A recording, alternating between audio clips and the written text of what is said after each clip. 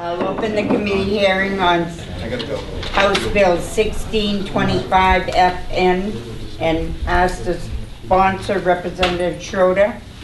Did I say that right? Very close, straighter. Schroeder, okay. Uh, Thank you, Madam Chair. Thank you. And thank you all for coming out today and sticking around and braving the snow. Um, I'll I'll try to lean on the, the brief side here with that in mind. Um, My name's Adam Schroadter. I'm a representative from Newmarket and also the town of Newfields I represent. Um, And we're here today to talk about House Bill 1625, a bill that I believe is a sensible approach to reducing marijuana penalties. Um, It's a very complicated issue and um, something that can often be oversimplified on different sides of the argument, and I recognize that. Um, With that in mind, you know, I, I feel need to point out, I have a young daughter, she's two years old, um, turned two a week ago. And before sponsoring the bill, I wanted to speak with my wife about, about, you know, what, what the content of the bill would be. And her response was that, well, if you're looking at decreasing the ramifications involved here and decreasing the vilification involved with marijuana, in her opinion, we'd be looking at the idea of opening up channels of communication among families and education and awareness about the issues to do with marijuana. So when she told me that, I actually thought that was a great example of how far the conversation has come here in the state of New Hampshire, reference marijuana and the penalties associated with it. Um, and then last week, of course, Governor Hassan brought it up in the State of the State address and mentioned as well that she would support a comprehensive review of our criminal code and our sentences to consider alternative options that will focus on treatment first. And that's one of the things, of course, that this bill does, is if you're a minor caught in possession, um, not, you're, you're not forced with the same penalties that you are today, but you are uh, required to attend a drug and alcohol prevention course that I think is something lacking in today's processes and something that uh, can bring awareness to different issues. So, you know, we're definitely not trying to make light of uh, young people's use of uh, something like marijuana. Um, but in a lot of ways, there's probably some things that people aren't aware of and aren't really communicated with um, because of the fear associated with bringing it up today in the family or otherwise. So, um, beyond, beyond that, I wanted to mention as well that, uh, and I'm sure we all know that New Hampshire is the only state in New England that still treats simple marijuana possession as a criminal offense with a potential for jail time. Um, and uh, brief story as to uh, a way that I feel that this could complicate things. I went to college in the state of Utah. In Utah, the age for tobacco uh, possession is 19 years old, where pretty much everywhere else in the country it's 18 years old. My freshman year in college, um, a friend came down from Wyoming, didn't even smoke cigarettes, He wasn't a smoker, but he brought a victory cigar for the homecoming football game. It was about an hour away where he lived.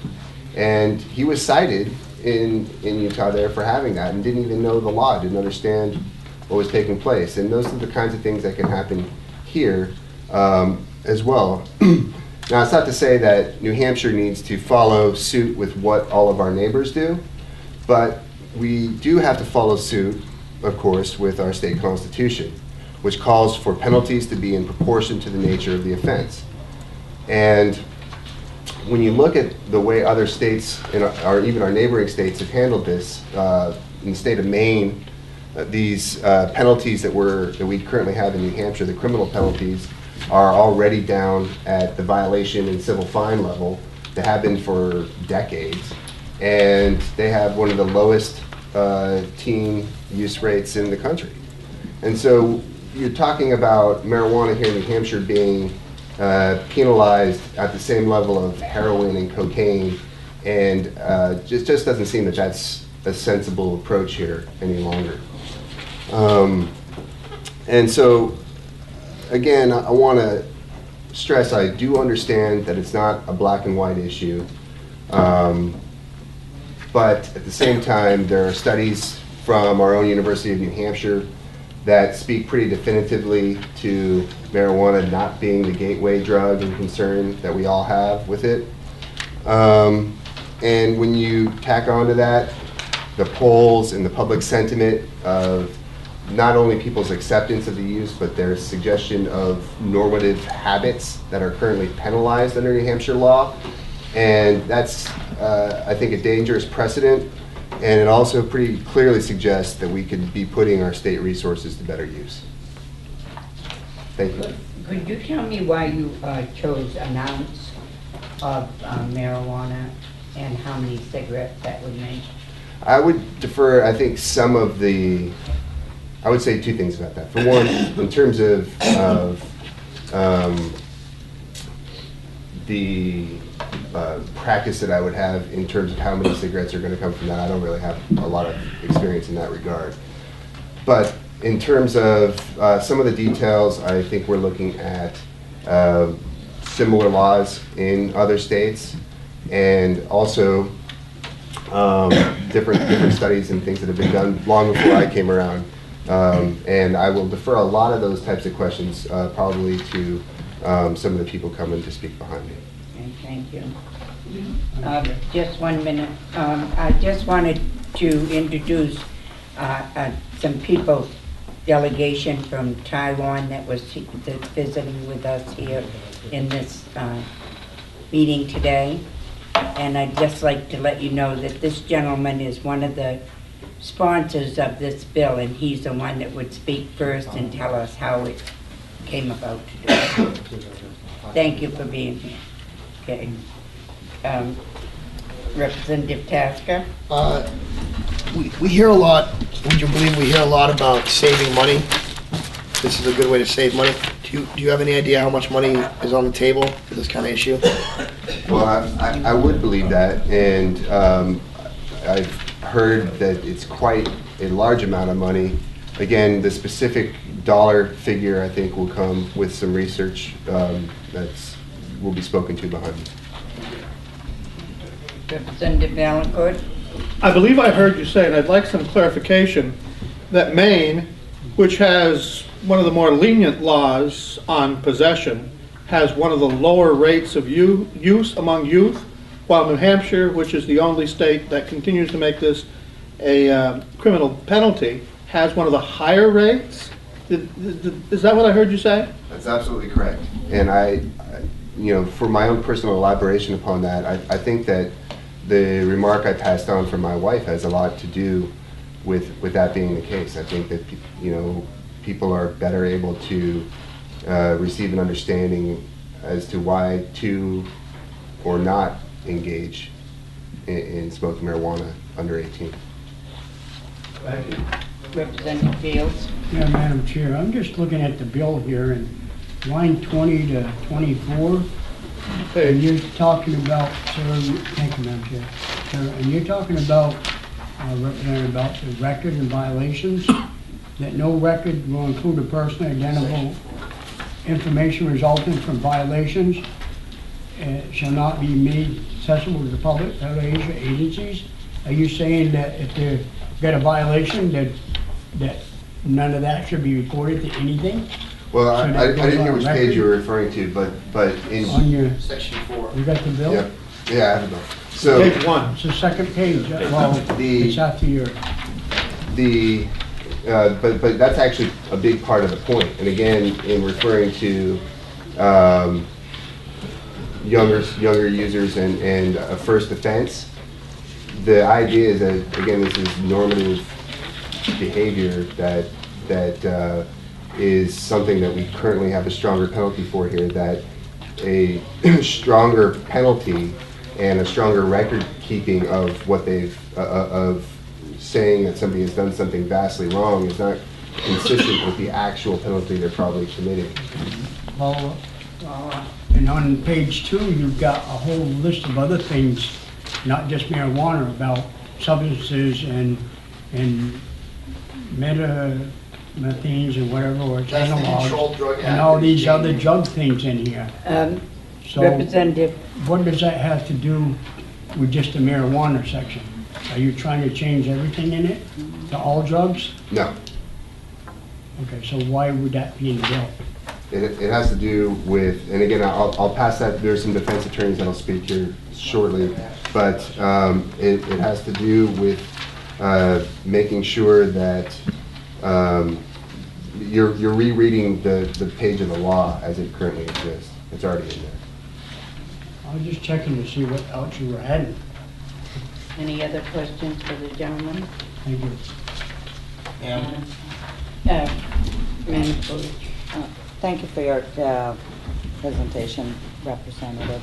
Do you have the data or facts about the different states? What's the law and what's the percentage of uh, drug use by youth and uh, marijuana use by youth and marijuana use by general public and Yeah, I think you'll see some written testimony on that from, from the, uh, the people coming up behind me. Um, But um, the, the figure that jumped out at me, at me was uh, with Maine having been one of the first states to reduce their penalties down to these levels that we're proposing today, and there being one of the lowest, lowest states for I that. have another question, if I have one more question. When she finishes, okay? Yes, oh, I'm sorry. Are you finished yet? Yes, thank you. Okay. Oh, Representative Fields. Yes, sir. Uh, Also, you got any person who possesses, propagates, cultivates, grows, harvests, manufactures six or fewer marijuana plants shall be guilty. That's fine, okay? But what is the regulation you've set up so you can grow six plants and who's gonna control it? That's, I don't see that in here where it's gonna be controlled. Or how the setup is to, to grow these and, and who's gonna grow them and where. Well, it allows individuals to grow that many plants. And, and it, it's not legalizing, it doesn't allow it, it's not legalizing that to be done, but it's reducing the penalty associated with that. Right, what, follow up. The- Follow The up. thing is, if I grow six plants in my house, how do you know I'm not growing twenty or thirty or forty and that? I mean, how are you gonna control that? You, It, can you it, tell it's me? not legalizing it, uh, and. Well, we don't- we basically, don't know you're that not saying it's doing it okay. Uh, no running debate, let him No, answer your sorry. question. Okay. That's all right, I, okay? Representative Vaillancourt, If I grow 20 plants in my house currently, how would anybody know? Exactly. thank you. well, once you sell them, you might know. Uh, Excuse me, uh, another question, This ma'am? table is to be quiet unless they've been recognized to speak Another or question. ask questions. That means everyone. A follow-up then? Follow up. There's nothing in this bill that would legalize selling from those six plants, is there? Nothing. Thank you. Any other questions for this gentleman?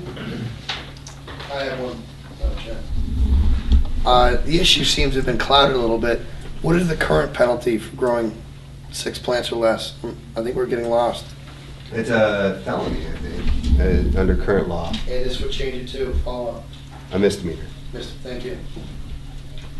Any other questions for the gentleman? Seeing none, thank you very much. Thank you guys very much. Uh, We'll call James from the AG's on. Is that, that- is it, how do I pronounce it? It's Vara. Dara? Thank you. Good afternoon, Chairwoman. Thank The you. Attorney General's office position has been made aware numerous times, and the position still remains. I uh, don't have much further than that in terms of this, the Attorney General's office still feels the policy is incorrect. And I just want to comment just on a few things. First being um, the issue of, we're at a place right now in the state where medicinal marijuana has been legalized, and we have not even gotten through that step yet. So now, we're now going to go to a new step and and legalize it, or decriminalize it to a certain extent, which again, is bad policy. Uh, There was discussion earlier about treatment only for minors. Where is the uh, cost of treatment that's going to evident, is going to occur? Who's going to be uh, paying for that burden? Well, it's going to be the state, and there's nothing in the statute now that plans for that. Going forward with six plants, currently the statute as constituted under 318B26, it does, if there's six plants or less, or more, obviously, it is a felony level offense. Who is going to regulate that? And that is certainly a question. That, that is out there, that has not been, uh, presumably it's going to continue being the state police or local police agencies or sheriff's department. Also, too, uh, the chair heard earlier from Tim Pifer from the New Hampshire State Lab, and I certainly don't want to speak on his behalf, but he did indicate to the committee that if it's a violation level offense, they do not test for it. So, obviously, part of the bill goes one ounce or less of marijuana or uh, five grams of hash, it will be a violation level offense. Well, who's going to test for that? And is that issue going to come up in court when someone says, well, how do we know that it's marijuana? Which currently has to be tested by the lab. So essentially what this bill does do is any amount less than, than uh, what I indicated, an ounce or less, or of marijuana, or five grams or less of hash, there really is no penalties. Representative Vaillancourt and then Tasker. Thank you, Madam Chair. I have two questions. Uh, I assume that you would not argue with the data that shows that marijuana use among teens is the high, one of the highest in the state of New Hampshire than elsewhere. It's the second highest, correct. Since you don't argue with that data, and you talked about paying for it, who's paying for that now? Society. And do we want to have another drug and legalize another drug? And do we want that to continue? And will, will it rise amongst youth? So now that it, the stigma attached with it, which is certainly correct, now that that is gone. And will parents, if I, I apologize, if I may, and if parents, we're relying on parents to tell their children not to do it, well, certainly that doesn't, is not always correct. And if I were to refer you to study after study which prove that legalizing does not, in fact, lead to increased use, but actually uses, leads to less use of not only this benign subject, but alcohol, which costs society a great deal, and other harmful substances, if I were to show you these studies, would your opinion change? I would have to see the studies and who created the studies and where those studies are from and where is that data collected and who created that data and who is paying for that data to be collected. And I think that's an important commo- component of, in any sort of uh, data which you read, which many times it's uh, based on election, and you look at the numbers of which were polled, and it has 100 people, and you go, well, how is that representative of this country or of the state of New Hampshire? Madam Chair, um, if I might, these, there are extensive studies which were presented to the Ways and Means Committee when I testified there a couple of weeks ago on the other marijuana bill. I believe everybody in this committee and this gentleman should have those studies as well. So I will ask that they be made available. My other question was that, as an attorney, you obviously know the Constitution of the state of New Hampshire. Correct. And you are familiar with the section which talks about penalties being equal to the offense. Do you think that our current marijuana laws with these strict penalties are equal to the offense? I would uh, sort of go back, go, I don't think that they're strict, so I would think they are appropriate. Representative Tasker. Uh, Thank you, Madam Chair. We got some data from the ACLU about uh, usage statistics and stated over, would you believe, half of all drug arrests in the state are marijuana. It also stated we spent six million five hundred twenty-six thousand three hundred sixty-four dollars in 2010 alone to enforce those possession laws. If half your workload disappeared, would there not be more pressing matters for you to deal with? Couldn't you reprioritize that better? I think you're saying, um, and just sort of answer your question, it's, it's uh, sort of, it's a position already stated in the sense that it's somewhat rhetorical in nature, in the sense that you're saying that my workload would change. I could say that my workload, and, and granted, uh, my position at the Attorney General's office, I don't deal with much marijuana. That's just by this, by the number of cases in which I handle. I'm the entire drug prosecution unit, so I don't handle many of them. But to really go back to your question, certainly will be allocated other directions, but that doesn't necessarily mean that we should legalize another drug. Okay. Representative Hurst. Thank you. I'm confused. Isn't this, bill is this bill about legalization? It's about de- decriminalization too. Okay, I just, uh, aren't aren't those different concepts? They are, they are Okay, different concepts. I just want to make sure that we're on the same page here. I- Because you brought up points about, um, you know, who would test the content of the drug, who would discover the plants, and who would uh, deal with treatment. I mean, aren't all those three things currently being addressed anyway? I mean, since, since we're not talking about legalization, we're talking about decriminalization, um, it's still, there's still, there are still penalties assessed, uh, and that won't change. Uh, They still have to, aren't they doing those things now? Yes. Determining, uh, Oh, they are. so how would decriminalization uh, exacerbate any of those issues? I wouldn't necessarily would exacerbate it, but it certainly changes what the New Hampshire State Lab will have to do. And one would think that if, the if, and if I may, if the drug is now changed and now is made a violation level offense, it can be said, again, I don't have the data in front of me because it's not data that's available, right? Because we haven't done this yet in the state of New Hampshire. It may rise, which means the cost may be more expensive. But the process of testing it is still the same. I mean, it's already high. We have one of the highest levels of use in the state. in the- in the Second highest country. amongst you. Okay, so it's out there. When you find it, you still have to test it whether it's, right? I mean, that- But right now, as Mr. Pifer said, I don't want to speak for, for him, and certainly not, but he did say this morning they do not test for violation level offenses, so they will have to do that. Now, to answer your question further, because I would presume your next question would be, don't they already do that now? Yes. Representative Robinson. Thank you, Madam Chairman.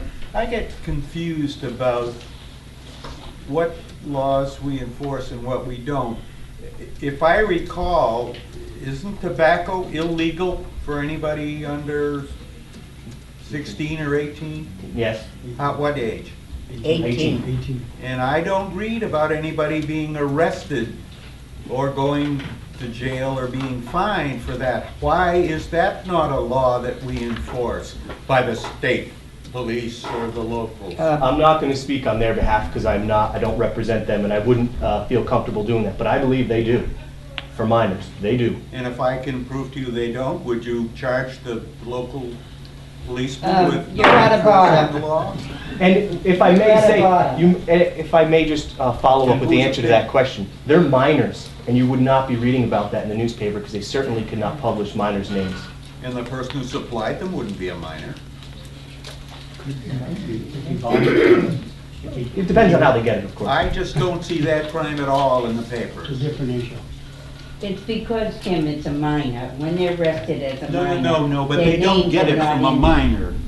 No, I know that, but they don't usually, li- can't, don't list the people that sell it. But it. drug dealers go to jail, how come tobacco? We don't list their names either. The hell we don't. Question. Not like we used to. We don't get it. Drug dealers don't get names in the Let- paper? Let's keep it simple. Keep it simple. It's a different subject, Tim. I than- understand. No, it's not. It's a substance that we shouldn't use, and we enforce one law and we don't the other. And I don't think that's the choice of law enforcement. But this gentleman is from the AG's office. He's not a police officer. He's not out there on the streets. They He's just decide, telling you what the AG, the AG's office decides when you've committed a crime and want to charge you. That's a different crimes. I understand that. Representative Cushing. Thank you. Um, Did I hear you, when I read this bill, it says that when uh, drug treatment is, uh, or, uh, abuse, yeah, drug abuse treatment is ordered, that it's at the offender's expense, right? Correct. So why we, the question, you you said something like who is going to pay for it? Yeah, the person's going to pay for it, and many Right. times they don't have the money before, or ha- what's going to happen now, and then they're going to be fined if they don't, which I believe, if my memory serves correct without going through But it. you, you think it's. Seven, um, You think because the law doesn't have, a- uh, provide for, you know, resources for treatment for, for drug abuse, that that's a reason why we shouldn't pass it? That's, that's a component I think that certainly should be considered, given that now, obviously, uh, heroin is, is what's being published, and who's, who's treating that now? Follow up. Um, The, there's a bill that's wending its way through the legislature that's gonna raise the age for criminal responsibility from 17 to 18. Would it be your suggestion that we still keep the criminal liability for marijuana possession at 17? I don't feel qualified to go down that road. I think what I, what I can say to that, if it's made 18, it's 18.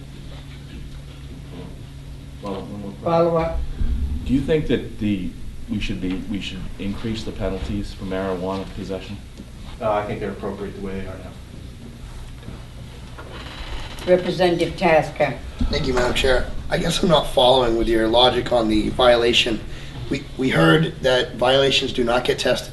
They do not, correct, correct, from our previous, when we were here Okay. before, with one another. So follow-up, if we shift the penalty from a misdemeanor to a violation, why would we start testing marijuana at a violation level? Why wouldn't half the workload disappear because we don't need to test them now? Or the burden would, would be different in court if that person were to, um, i- if, the burden would shift and it would have to be tested if, if challenged. Potentially, potentially. If it's simply someone, violation le- level offense, we don't get to that process, no. It may reduce, and I don't want to speak for the lab. Please don't, I don't want to do that, because I'm not qualified to do that. So that would, it would be their testimony that we were require. Can we get him back in here? Huh? Can we get the lab guy back in here? Honey, yeah. And I don't think, and, and and go back, Chairman, I don't feel it's appropriate that I do go down that path. I apologize to go down that path, because I'm not qualified to do that, and I don't think I should. We were under the impression that this would eliminate half of the state's crime lab workload, and that's the way we want to go with it. It- it- it- Let him answer that, let someone from the lab, he or she answer that versus myself. Thank you. Representative Vaillancourt. Thank you. We certainly want to keep our questions to things you're qualified to deal with. Mm-hmm. Were you the representative that appeared before the Ways and Means Committee on my legalization bill last week? You were, you were? I believe so. All right, then let me- I've had, I've been Then let, then let me ask you this question, you're certainly qualified, because under persistent questioning from Representative Sapareto, did you not ultimately acknowledge that if we were not looking after, going after marijuana use, you would have far more money and resources, not to give back to the state so we could reduce taxes, but you would go after other things with this money.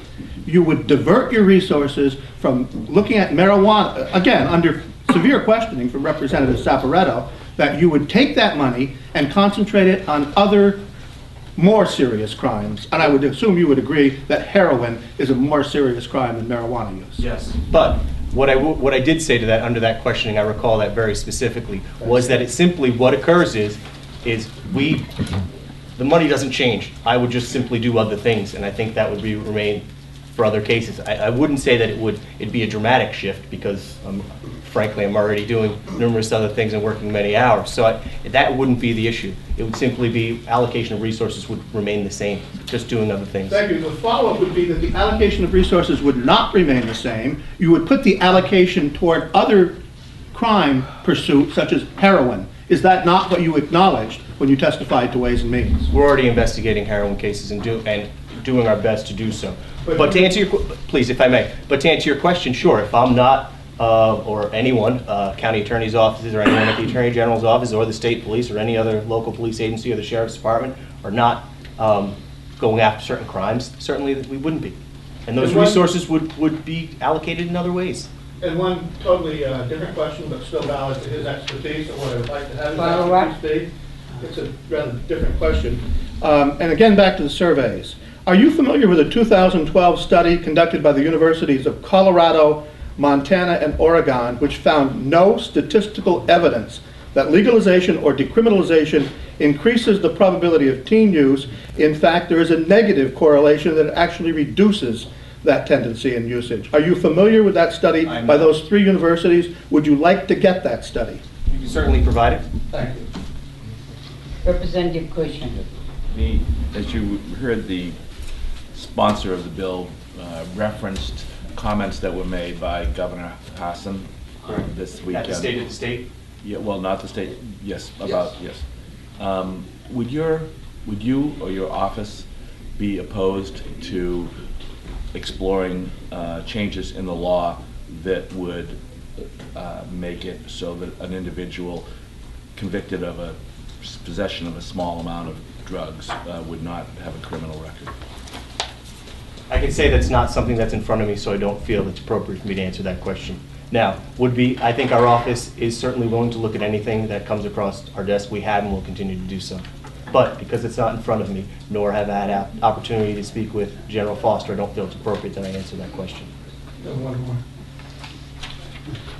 Yes, it doesn't have to do with Ways and Means or anything, does it? The testimony or anything? Well, that would be relevant to the extent that they could spend their money on uh, pursuing heroin. That's what he said at Ways and Means. But it doesn't, actually, it doesn't at all. The question is this, are you familiar with a 2012 study by the U.S. Centers for Disease Control and Prevention that found marijuana use by Colorado high school students has dropped since the state began regulating medical marijuana in 2010, that California has had a similar experience? Are you familiar with those studies? Would you not like to be familiar with those studies to educate yourself? Anecdotally, I'm familiar with those studies in terms of the broad spectrum of items that are published. I'm not familiar with that uh, specific study, so So you would like to receive them? I feel it's appropriate, given my position at the Attorney General's office, being the drug prosecution unit, to review anything that's pertinent for my job. If you feel that would be pertinent for me to review, I think as a it would be public, irresponsible for you not to review. well, as a public, s- I think as a public servant, which I have been for many, many years, almost my entire legal career, I would certainly review that. Thank you, sir. Thank you very much. Um, Excuse me, sir, we have one more that is a question. I apologize for getting up too soon. Thank you, Madam Chair. Did, did I hear a question or a concern in terms of there is no, um, funding for problem like we have for Alcohol Anonymous or, um, education, tobacco pays for the negative effects of, so there is no, um, item or line in this bill for marijuana use, if there is a problem use, that fund to um, fund the education or treatment. Addiction is rampant throughout this state. I think it goes without saying. I think that's somewhat, somewhat a uh, automatically known, and we do not in this state have enough treatment. And if there was a component which would assist in that, that is one of the components of sentencing, treatment and rehabilitation. We certainly in this state do not have enough of that. I couldn't agree with you more. Thank Thank you. you Well, you know, if I may, just very briefly, uh, we're many times looked at, certainly in my position of looking at incarceration alone. I think we look beyond that, and that's an important component, that treatment is something that we do not have enough of in this state. So to simply paint prosecutors or law enforcement with a broad stroke of saying that, a broad stroke, that we're not willing to look at that, we want that and need that. Thank you. Thank you. We'll call Mark Seiss, Seiss, am I saying it right? Sisti, thank you. Sisti, I'm way off. I have a hard time pronouncing it. too. Yes, Sisti. My name is Mark Sisti. Thank you for uh, allowing me to present just a few thoughts. Um, I've been a criminal defense attorney for 35 years. Um, I started with the New Hampshire Public Defender's Office in the 70s. And uh, I've been to every district court in the state of New Hampshire. I've tried cases in every one of them. I've tried cases in every superior court. I've practiced at the Supreme Court level, the federal court level, and uh, I'm also licensed in Vermont and do the same thing over there. I've dealt with uh, marijuana problems for the last 35 years. I can assure you of two things. One, uh, there's a lot more use going on now than there ever was back in the 70s. And two, in essence, marijuana has been decriminalized now, whether you like it or not. And let me, let me explain that a little bit. The realities of practice in the state of New Hampshire are that if an attorney gets a client who's charged with the mere possession of a small amount of marijuana under the present statute, even though it's declared to be a crime, I can guarantee you, I can guarantee you that that person is not going to go to jail. I can guarantee you that for the most part, we are going to be able to either dismiss that particular case, have it placed on file without a finding, or run that particular matter through diversion. So what I'm telling you now is that this is not, this is not an earth-shattering moment in the state of New Hampshire. In fact, it's a moment that's been a long time coming. The reality is that, and the unfairness is, that young people in this state and poor people in this state, all right, that are charged with crimes and cannot afford an attorney, especially if they are charged as a Class B misdemeanor, which is a crime, will leave that courthouse the majority of time with the scarlet letter C nailed to their head. And that C is criminal. And it chases them around the rest of their life. It bars them from educational opportunities. It bars them from being able to serve in the military. It bars them from being bonded for certain jobs. It limits their travel. And it is a huge impact. But they don't even know that when they leave the courthouse until it starts hitting them over and over again. No federal student aid, being turned away at the recruiter's office, being questioned at the border before they enter Canada. Any of these things will pop up. And it's unfair. It's unfair. The courts know it's unfair. The police know it's unfair. And what I guess I'm bringing to the table today is the stories from the trenches. I mean, the reality in this state, and I'd like to speak to Mr. Vera's testimony a little bit. The reality in this state is most of the time, the state lab is doing the test, is going through the expense, and they're not getting a criminal conviction. They're in essence wasting their money right now. For the most part, small amounts of marijuana are being disposed of in non-criminal dispositions, not even violations. Not even violations. Some of the suggestions in this bill are much more harsh than what we get as results in these cases. The reality is that this law is a dinosaur. The penalties are a dinosaur. And the reality, I know people are going to speak, people will speak today about, uh, you know, different statistics with regard to polls. I'm speaking from actual courtroom experience to the point where when we had a test case back in September of 2012 with an individual that had multiple plants cultivated on his property that he admitted to and admitted that he grew them with the intent to use and admitted that he used marijuana almost every day of his life from the time he was 20 years old. A Belknap County jury returned a verdict of not guilty on that case. What was their concern? Was it for his personal use? Was he dealing it? Was he making money from it? That was their concern. When they knew, when they were assured that this man was using it only for himself, only for himself, they had absolutely no problem coming back unanimously with a not guilty verdict. Now that speaks, to me, that speaks louder than any poll. That speaks louder than any study or any statistic. Because the reality is that 12 of your constituents agreed without any problem to let a man free that admitted to not only growing marijuana, a felony level offense, man, growing marijuana, using marijuana for decades.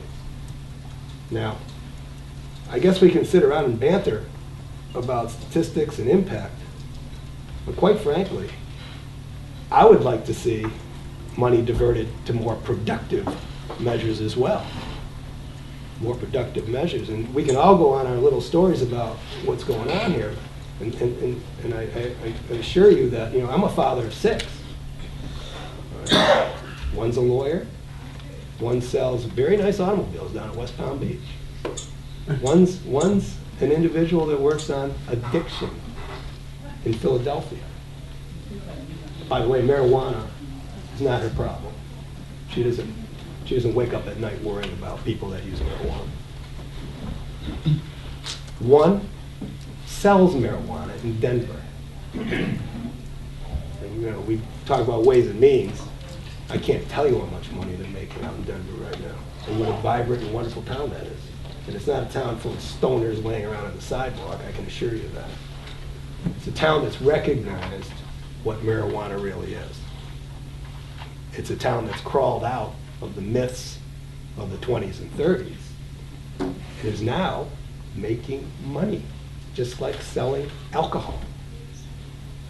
Do they regulate it? Absolutely. Do they tax it? They do. And is it working? Yeah. The problems that were asked with regard to how do we take care of folks that have addiction problems, drug problems, or alcohol problems, in Colorado, part of the taxation, and I'll, I'll give you the statistics, because I wanted to make sure before I came here. Part of the solution is that they sell by the ounce, so you should know, that the ounce costs $179, that's the going price today, that 7% of that uh, is added on if it's a medical ounce, so they get 7%, it's a lower amount, and 21% if it's a recreational ounce. In essence, a recreational ounce, when they leave the shop, um, there's about, it's about a $250 ounce, somewhere in that area. And a good deal of that's going to the state dedicated to education and treatment. Can I interrupt you for just a minute? How long has Colorado been selling? Medi- Medical's been going on for quite a while. No, I'm not talking about medical. January 1st is- is when they started, and uh, the And how have they, how are they, are we sure that it's going so well out there? I It's can- only six weeks in. Well, I mean, I, I, I- I can, I can assure you, I, I was just out there three weeks ago. I Yeah. wanted to see for myself what was going on out there. Yeah, And in, in essence, what's happening out there is that the medical facilities are now uh, also selling recreational. There is no change out there. Law enforcement problems have not increased. People can't come into the stores, just like they can't come into the state liquor store, drunk or disorderly, or anything like that. They cannot use in public. I mean, it's, all all of these things are controlled. And one of the problems we have here with this particular, the way we are right now, the way we're structured now, is that otherwise law-abiding citizens, this is cross-cultural, with regard to where we are dealing with marijuana now, become criminals when they're sitting in their own living room. Have, having a, a joint after work, after selling insurance, after being a mechanic, maybe after being a lawyer, maybe after being a judge maybe after being a state representative. I don't know. But they're sitting, they're sitting in their own living rooms, in their own homes, worrying about criminal sanctions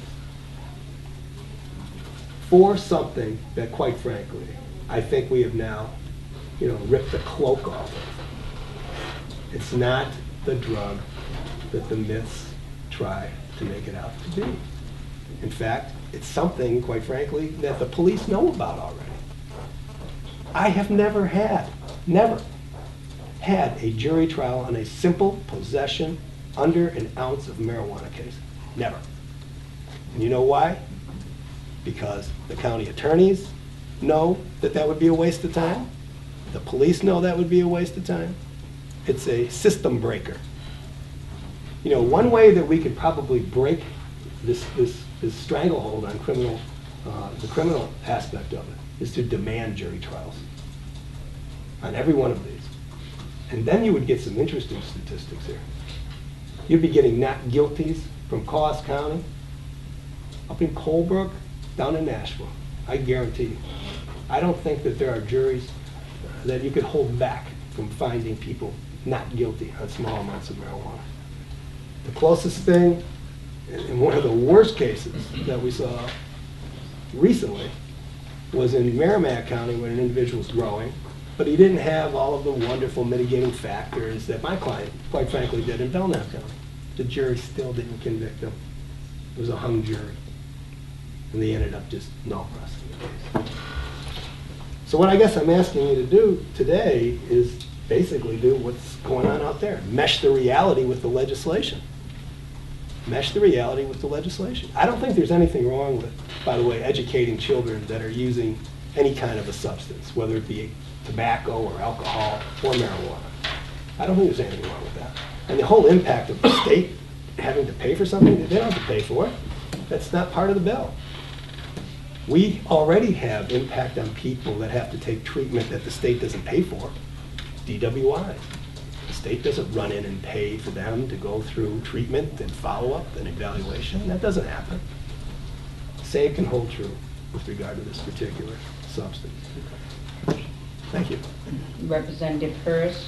Thank you, Madam Chair. Thank you for your testimony. Thank you. Um, So, in fact, many of these laws on the books are not being enforced. In fact, that is absolutely correct. So then why, and I, we haven't heard directly from police yet on this issue, but we've heard from the AG's office.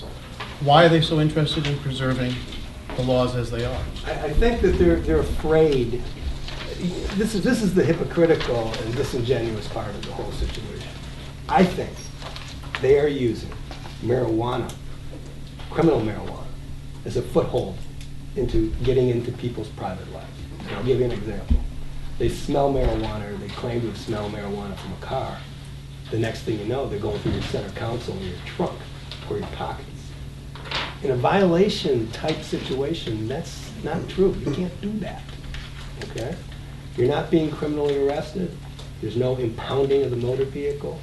It goes on and on and on. I can get into the specifics with. Gives a new definition to gateway, doesn't it? Well, you know what, the- it's, it is the gateway. And you know what the other gateway is? The real gateway is that, this is the gateway where youth become subjected to the criminal justice system. And it shouldn't be like that.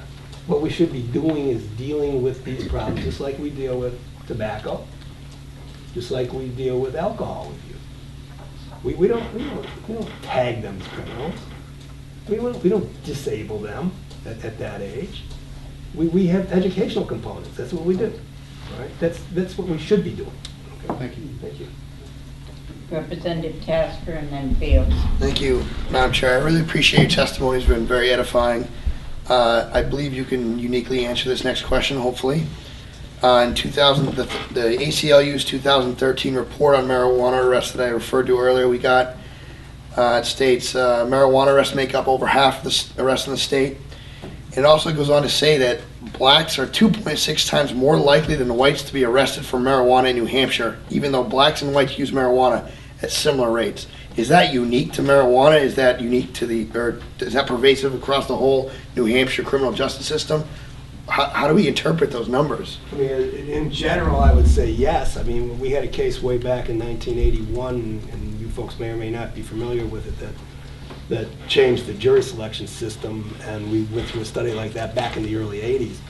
Um, I can tell you that right now, a lot of it is linked socio-economically as well. I mean, we're dealing uh, with, with minorities that are, are captured in certain areas of the city that they focus attention on.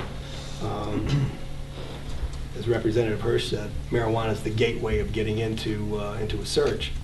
And if you want to get into a search, one of the easy ways of getting into a search is to claim that there's a smell of something or, or some other collateral problem with regard to what they can do with further examination.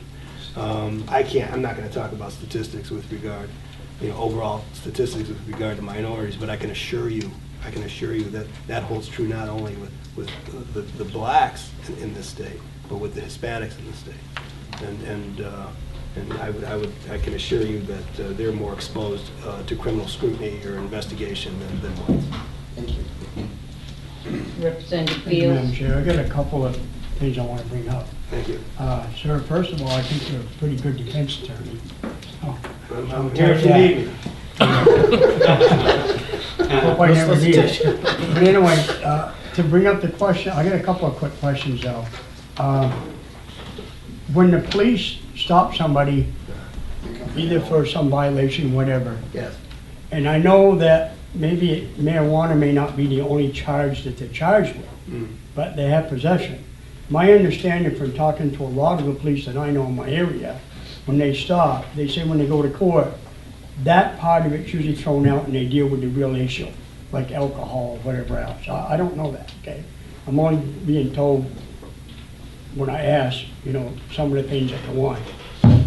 The other part of it, the, the thing is, is in Colorado and that, in Washington, whatever, we don't know what the ramifications are yet, because it was on the news the other night that I watched, that it said they don't know what the ramifications are gonna be at this time, that it's just begun, and they have no idea, you know, what, what the ramifications will be in the future.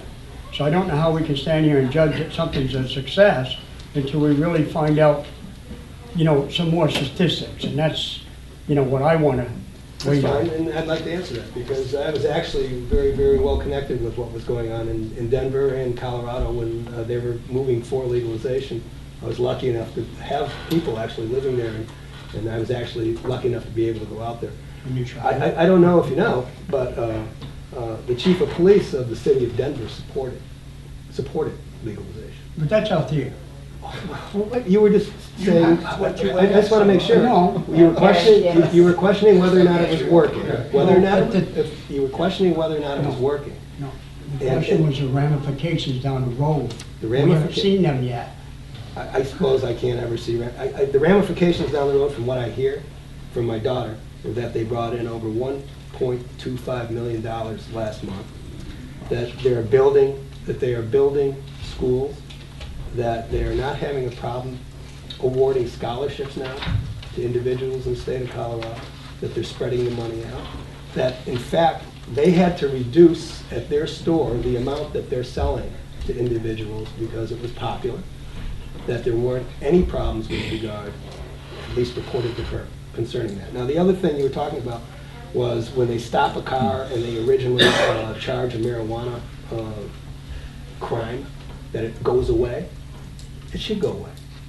That's, I think, exactly what this committee is, is trying to understand. Why should it be there to start with? It shouldn't be. If the police don't find it to be that important to follow through on prosecution, why should it be in the New Hampshire RSA's?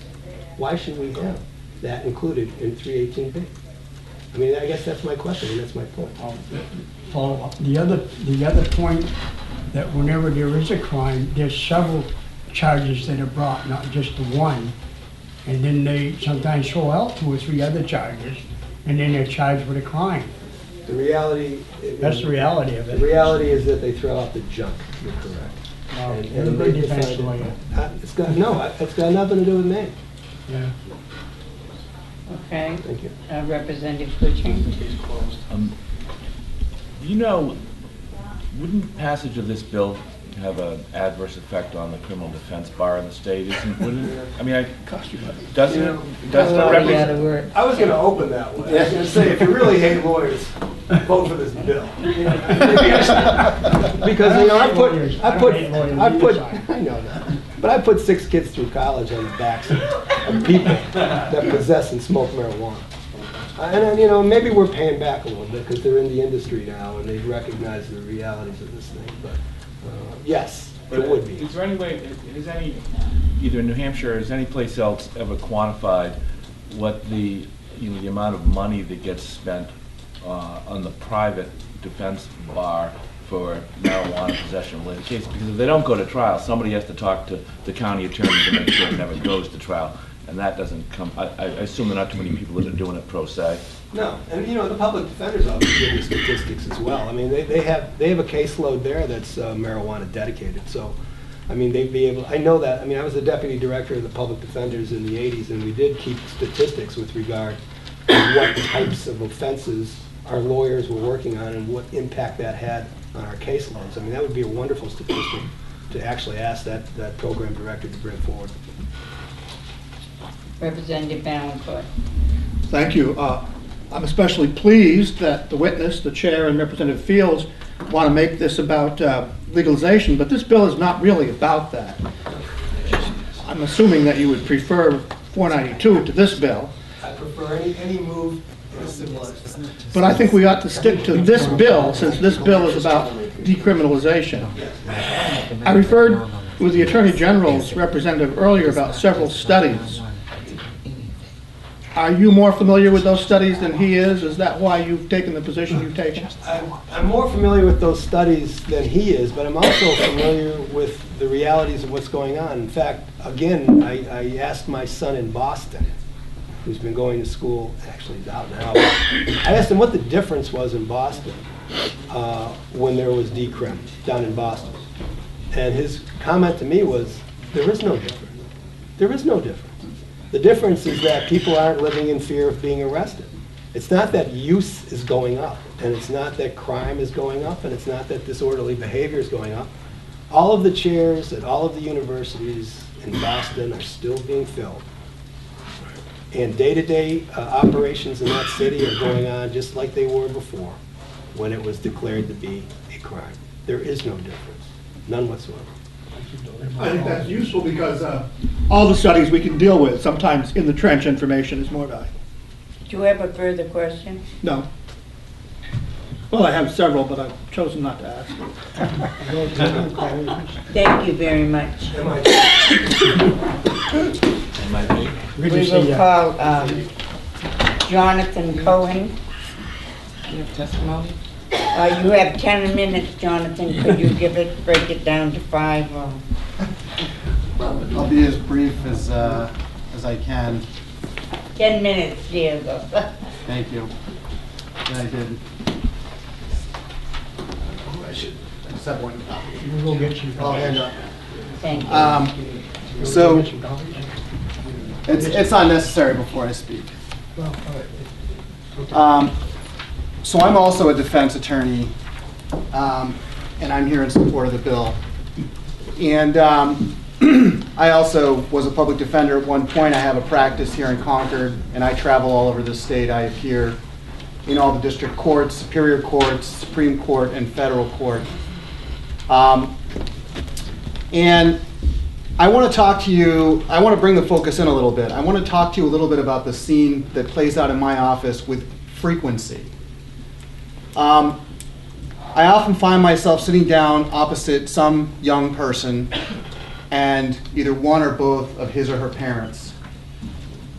Um, they will be in there for having been arrested for possession of marijuana, for some small amount of marijuana like we're talking about today. This person will be in school, uh, either high school or in college. They'll have a job. They'll live either at home or on campus. And what I see with frequency is I see the concern in the parent's face. I see the concern in this young person's face. He or she is scared to death and looking back at me, and they are pleading with me what's going to happen. And they're there just because he or she has been accused of possession of marijuana. And I have to talk to them about what could happen. I have to be the bearer of bad news. I have to tell them that they're accused of a Class A misdemeanor, that they could go to jail for a year, which is often how they're originally charged. Um, or in some circumstances, and this is another issue here, different police officers, different prosecutors in different parts of the state handle this kind of situation differently. Some will charge them with a Class A misdemeanor. Some will charge them with a Class B misdemeanor. There's no rhyme or reason as to what you're going to be facing. But either way, if you're convicted of a misdemeanor, then you are looking at becoming a criminal. You are looking at getting convicted of a crime. If this young person is receiving federal financial aid, the conviction, I have to tell them, can result in the suspension of that financial aid. They may have to withdraw from school as a result of this. If this person is employed, their employer may fire them as a result of this. And I wish that you could be sitting there with me looking at these concerned, good working, hard working New Hampshire citizens and these young people that are trying to improve their lives. Because that's what I see with frequency. And that's a direct result of the fact that possession of marijuana is a crime in this state. And that's something that can be alleviated by decriminalizing it. Now, I don't see this when I have the exact same scenario, but they're in there because they're accused of possessing alcohol. I don't see the same concern. Not unless they possessed alcohol and, if they possessed alcohol and they did something else. They drove drunk, they got into a fight, they sexually assaulted someone. These are things that I frequently, frequently see people accused of in combination with consumption of alcohol. Then they're looking at more serious charges. Then they're looking at more serious consequences, and we'll talk about that. But there is a huge world of difference if they're just sitting there accused of possessing alcohol or they're sitting there accused of possessing marijuana. There's a huge difference in the concern and the ramifications of that. Because the young person sitting in my office accused of possessing alcohol is not looking at becoming a criminal. It's a violation level offense, which is what this, this proposed law would do. It would bring these two things into line. And I will say anecdotally, and I handle a lot of cases, the majority of the marijuana cases that I see are non-violent cases. They are cases involving possession. I don't see my clients getting into accidents because they were under the influence of marijuana. Is it possible? Absolutely, it's possible. It affects your ability to think and everything else. I'm not going to say it's harmless. But nowhere near the frequency that I see my clients coming in there and talking about having gotten into an accident, a serious accident, under the influence of alcohol. I don't see my clients getting into fights because they were under the influence of marijuana. Alcohol, absolutely. Had somebody in yesterday. So I think that there is a big disparity right now under our existing law. And I think to follow on what Sisti just said, the current law is a dinosaur. It needs to be changed. I wanted also just to address a couple questions that I heard posed before that, that didn't get answers. Um, One thing um, that I think Representative Tasker had asked about is about the money, the savings that potentially could happen here. And we heard um, Attorney Barra from the AG's talk a little bit about, there was some questions about, well, if you don't spend money on the enforcement of marijuana, couldn't you spend that money somewhere else? There's another level to this, which I think you should consider, which is, in the district courts especially, there is a lack of judges. There is a lack of personnel. They are overwhelmed with the numbers of cases that are coming through there. The majority of which, well, I can't say statistically the majority, but a large number of which are cases like possession of marijuana. This proposed law would allow somebody who's accused of this to just say, I'm just going to pay this fine, send it in and pay my fine, similar to a speeding ticket. At least that's how I read this. This is going to alleviate some of this pressure on the court's dockets. That is a savings in money as well. It's a savings in manpower, and it's a savings in tax dollars. I had also heard um, question, I think Representative Fields had asked about the, the page that lists all the other drugs. And I wanted to just answer your question about that. Why is that in there? That is the statute, RSA 318B, that lists all the drugs that are illegal as it exists right now. The amendment is is striking out marijuana so that it would no longer be a crime along with all those other drugs, some of, most of which we can't pronounce. I understand that, I thank you. Um, Another issue, and this is something that I think is, um, it's anecdotal, but I wanted to talk to it for a second. Um, You know, you hear this argument that it's bad policy, that we have too many drugs, we can't legalize another drug. But then there's this questions, such as Representative Vaillancourt was asking, well, how come we have such high use in New Hampshire where it's a crime, such low use in Maine, for instance, where it's decriminalized? I don't have all the statistics to answer that question, but what I can say anecdotally from talking to my young clients is, because it's pushed underground, because it's not regulated, it's easier for a high school student in many respects to get marijuana than it is to get alcohol. Regulating makes it harder to get it into the hands of young people. I think that's at least one part of the answer to that question.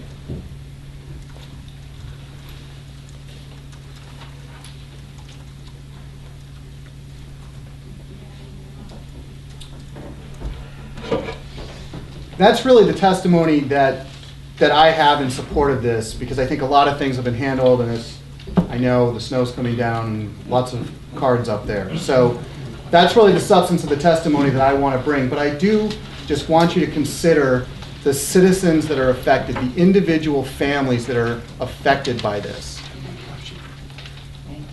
Thank you. Representative Fields. Yeah, thank you, Madam Chair. Thanks for your testimony. Um, You mentioned that there's uh, a big caseload apparently in the courts for the marijuana. Can you get us statistics to tell us about how many cases there are, or how many have been, I don't care about names, but how many have been charged with it? How many have been actually, uh, you know, uh, been convicted versus not convicted on it? What I would there say is- any way the defense lawyers that spoke today can get us some information on that, that they're saying how bad it is in the court? The- I haven't heard it that bad. My, my testimony, what I can tell you is that I'm on the, for instance, the committee with the cooperation with the courts. And I think it's a well-known fact in this state that we need more judges in this state. I don't think I'm that that's a talking that. particularly. I'm asking you for statistics. And, and what I would say in answer to your question is that my testimony is anecdotal. It's based on sitting in district courts. I'm in court probably every day, every other day, in different district courts around the state and listening to the cases that are being called. But I don't have my fingertips on the court statistics. That has to come from the courts. I simply don't have the ability to compile those statistics as a defense lawyer. The courts have the ability to compile those statistics based on the, the cases that they're processing. But you know how many you have had that have either been convicted or not, because you're representing them. So, Me personally, yes, but I'm not sure how statistically relevant my caseload is to this state. I can tell you statistically what, I can tell you what I see. oh, I could too. Representative Robinson. Thank you, Madam Chairman. If I, if I'm a juror and I don't believe in the marijuana laws, can I vote not to convict without getting in trouble? Right, and that's nullification, absolutely. A jury has the ability to say, no, we If don't sixty agree. or seventy percent of us feel that marijuana should be decriminalized, and odds are the jury is gonna reflect similar statistics, is that why you love to take a marijuana person to a jury? Here's the problem. The majority of marijuana cases never see a jury. The majority of marijuana cases go into district court, and the majority of those plead out at arraignment, probably without counsel. And then a large number go and plead out with counsel in district court. So they're not seeing a jury and they're not seeing a contested hearing. You guys gotta advertise. Thank you. Representative Menifee. I have two, qu- two-part question. Uh, You talked about the discrepancy in charges at this time for possession of marijuana. And um, why is there a discrepancy in terms of um, charges? And how will this bill change it? So what I'm talking about, thank you for the question. Um, What I'm talking about is the discrepancy between how alcohol is treated and marijuana is treated. Currently, under the current state of the law, possession of marijuana is generally charged as a misdemeanor level offense, whether it be an A or a B. That is a crime under New Hampshire law. Possession of alcohol by a minor, for instance, is a violation level offense, so it is not a crime. So there's a categorical difference between an 18-year-old accused of possessing alcohol and an 18-year-old accused of possessing a small amount of marijuana. The marijuana case is a criminal case. The alcohol case is not a criminal case. Follow up. I was talking about the discrepancy in uh, possession, marijuana possession from this, you know, from different uh, communities. That, why is there a discrepancy in terms of, in one community, it's looked as not, uh, but in other, and you said, pose that question to the law um, enforcement. So that's a deeper question. Uh, And what I will say is, again, is only based on my own experience, but um, different district courts have different judges. Different judges have different demeanors that can set different tones. There are also different prosecutors in different courts, and some of them are, uh, let's say, um, believe that possession of marijuana is a greater offense than others do. Same thing with chiefs of police, and then on down the line to the people on the ground, uh, individual patrol officers. All of those things factor into the incredible discretion. A prosecutor right now has the ability to charge possession of marijuana from a Class A misdemeanor that could give you a year in jail down to a violation, depending on what they feel like doing. I've even had some city ordinances charged in some cases. So you're really at the mercy of the individual, first the officer, and then the prosecutor, and then the judge, in terms of what happens to you. Ch- Going forward on this law says we're going to take some of that discretion away and we're going to define this for you folks. And we're going to call this a violation level offense. We are going to decriminalize it in recognition of the fact that that's what's going on. That's what the community believes anyway. So I think it brings the law more into harmony with what the community believes is already exists. One more Follow up.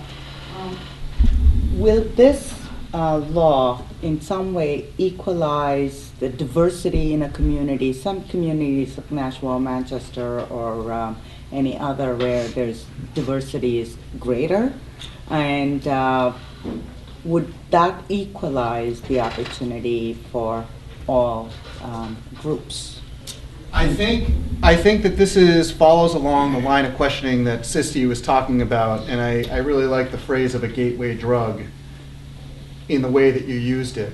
Um, I think that obviously um, inclusion and diversity are things that should be fostered and things that should be fostered in many different ways. I think that taking possession of marijuana from a criminal offense down to a violation of- level offense will have the result of taking away one of the gateways that has been exploited by some people to discriminate against minorities in this state. So will that solve the problem? Probably not. Is it a step in the right direction? I do think it's a step in the right direction to that goal. Representative Tasker and then Uh, Thank you, Madam Chair.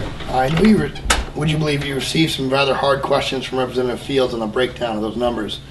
Uh, Would you believe those numbers aren't going to be easy to get, but we did receive some hard numbers. And out of all the drug arrests, and I, I don't even think that includes alcohol, out of all the drug arrests in the state, 53.5% is the hard number we received. So well over half, I would say, would disappear. Representative Vaillancourt. Thank you. Of all the things I've heard today, probably the most chilling, and I want to get your reaction to it because it chilled me so much, I want to see if anybody else agrees with it.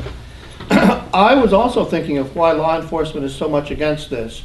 And I think in a very bold and provocative statement, Attorney Sisti said that it's a foothold into people's private lives. Do you share that idea? I think that I have a lot of cases where my, where, where I read police reports where a police officer says that they stop a motor vehicle and have the overwhelming smell of marijuana coming from that motor vehicle, and that then leads to entrance into the vehicle and searching that vehicle. And in a lot of those cases, what they ultimately find is a small burnt part of a marijuana cigarette or a pipe in the center console, something that doesn't, isn't necessarily consistent with that description of the overwhelming smell of marijuana, but that is an untestable fact in many circumstances for a defense lawyer when it comes to challenging the validity of that search and seizure. So I do share to that extent. I will also throw out another level to this, which is that I think in addition to the intrusion into a motor vehicle or an apartment building or even someone's pockets, there's also the sort of elephant in the room, which is that there's a lot of federal dollars that go into the enforcement of the drug laws. And a lot of those federal dollars go to law enforcement. So there's a lot of money to be made in maintaining the status quo. And I think that that's also a factor. And just a follow-up, your explanation, would that be a reason why people of color are so much more apt to be uh, charged with this than white people like you and me? Well, I think that if they wanted to uniformly enforce the drug laws, then you would see a lot more, um, you would see a lot more equalization because the statistics do show that there's equal use, but there's unequal conviction and enforcement. And that goes back to this issue of discretion. And I think that's one thing that this law does answer, is taking some of that discretion away. I think it's a much bigger question about, you know, why, and, and I'm not so sure that I'm qualified to answer that, but I think it does take a tool away that leads us toward it. Before we go any further, I think in defense to the law enforcement, they would not be pursuing this drug if this legislature hadn't put the law into effect. That is an extremely good point. And I absolutely agree, and let and let me just And to the de- defense attorneys too. and, and, and, and let me say that, that, that my, my father-in-law is, is former law enforcement, so I'm certainly not meaning to disparage law No, enforcement. but I just wanted to get that point across. Absolutely. The legislature makes a lot of laws, and some of them are very stupid. Which, which is, which, which if I may say, is precisely why, which is precisely why this bill is so important. Because this is an opportunity for the legislature to set the mark. One quick one, I, I- you know, you, you, you said in your comment that, you know, the police and they make federal money and all that. and, Well, if we do away with this, decriminalize, then the defense lawyer will be losing some business too. Absolutely So you'll be losing money. Absolutely right. So I right. guess, I guess it works both ways. That's absolutely right. And I, I totally agree that that could cut into my bottom line, and yet here I am in defense of this bill. Thank you very much, sir. Thank you. Thank you. Uh, Chris Castro? Thank you, Madam Chair. Good afternoon, members of the committee. For the record, my name is Chris Casto. I'm an attorney for the Department of Safety. The attorneys who have already spoke have spoken very eloquently, so I kind of have a tough act to follow, but I'll be brief and leave most of the time for your questions, and I will leave you with a position paper that fully articulates the department's position, which is to be opposed to this bill. The department feels that lessening the sanctions are inconsistent and may be inconsistent with public safety. One of the concerns that we have is with drug impaired driving. I know this bill doesn't encourage drug impaired driving, but we have a concern that it could be an unintended consequence if you lessen the sanctions, you lead to more use, which could lead to more drug impaired driving.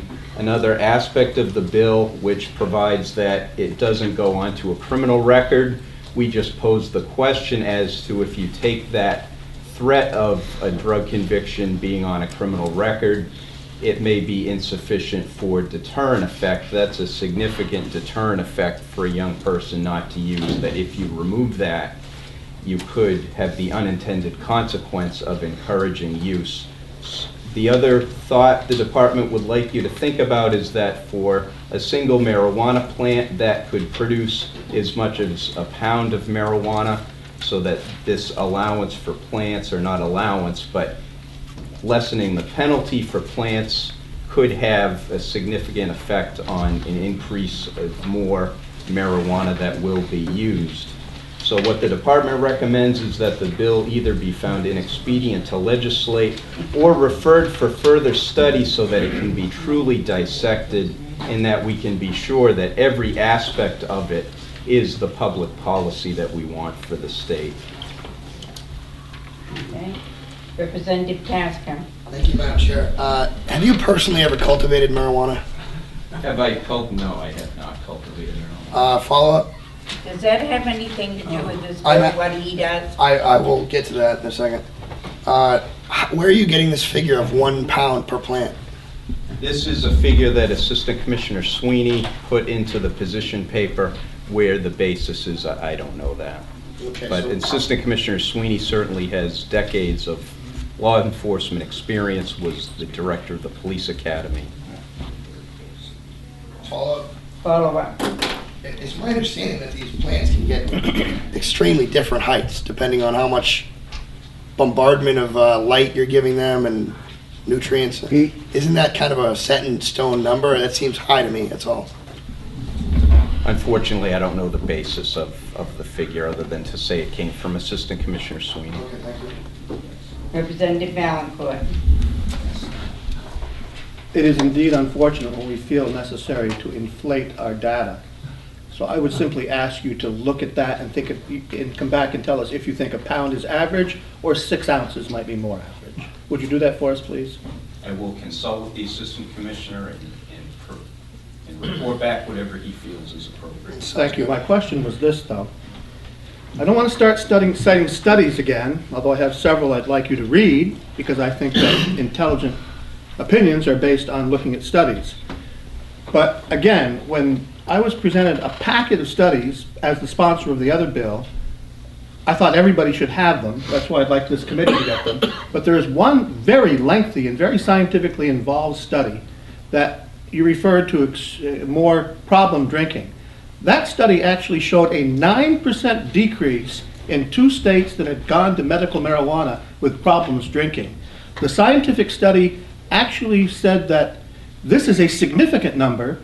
I believe one of the states was Rhode Island, the other might have been Montana or Wyoming or one of those states, and they were looking to do it in Vermont. Aren't you interested in getting hard data rather than throwing out uh, numbers or opinions without any data? Wouldn't you like to see these studies if in fact they show that just the opposite of what you're saying is happening? For example, a study in California by the uh, California Student Survey showed that California use among teens was dramatically on the rise until 1996, at which point it began dropping dramatically as much as half after legal medical marijuana was used there. All the studies seem to point the exact opposite of what you're saying, but you continue to say them. Wouldn't you like to see these studies to change your opinion if you see them? Well, we would be certainly interested, that's why we suggest that further study may be warranted before a bill like this goes forward, But to my be point sure. follow-up is that we already have the studies, you just don't want to see the studies. So why should we have further studies when the studies we have now are being ignored? Well, we want to be sure that we're considering all the studies and that there may be studies that, that say other things and consider all available. So you considered all these studies? I have not, I've not looked at those. And I don't Any appreciate other the comments while I'm testifying, I hear comments behind me. Yeah, you- it gets, you hear comments behind you. Yes. It's not necessary. fine. We're here, I've either pro or con. The decision will be made for this committee. Everybody lives in this country because they have a right to their opinion, whether they're for or against marijuana. And we re- should respect every person that testifies there without putting them on the stand, like they're a criminal or something, giving us Madam Chair, I believe his comment was that he didn't appreciate extraneous background testimony, nothing against the questions. No, I. Uh, If you don't mind, I made a statement. I didn't ask you to, re- to make a rebuttal. I'm sorry, I've had a long day, I apologize. That's all right. Thank you very, uh, yes. I've got a question.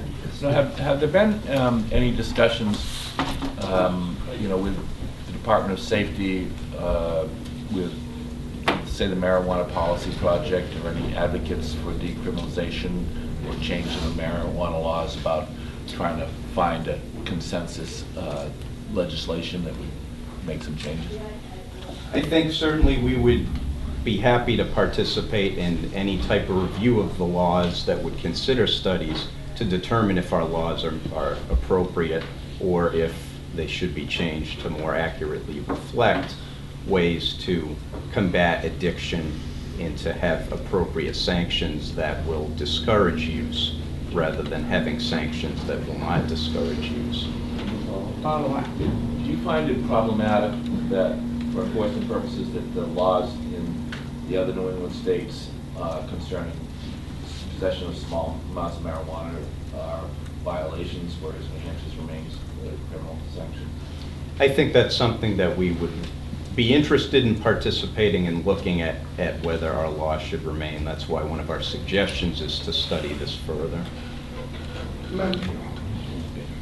Representative, um, What's your name? no, uh, Fields and then Robinson, then Hurst, then Vaillancourt. Well, the the thing about all these surveys that people want to throw around, I- I'd like to know what survey, what group did it and what group didn't, and, and, and where they're from, okay? I don't think that California should have a survey that tells New Hampshire, when I don't even know exactly what the ramifications have been eh, when it just started in, in January in Colorado. I have no idea what's down the road. And so until they can compound something in two months, we could think that would be the thing to do, so we could kind of maybe gather whatever we need to do, if it needs changing at all. Certainly, considering broad studies from different places would be something worth doing. Thank you. Representative Robinson. Thank you, Madam Chairman. Uh, One of the problems I think law enforcement has is they think alcohol and marijuana have identical sys- symptoms because they use the same words. And, you know, you referred to driving. Well, if driving is your only concern, why isn't it treated like alcohol? And we make it illegal to smoke and drive. And the other thing is, research that's been done say the average marijuana smoker, when faced with having to drive, tries to avoid it, which the alcohol doesn't. And if he does drive, drives on average of 10 to 15 miles an hour slower. And according to Car and Driver, you can drive much faster on a racetrack under the influence of marijuana than you can when you haven't had marijuana. Do you look at those research at all? And, and, and the other thing I'd like, I, I feel bad because you people, I look at you and you're here telling us what you were told to tell us.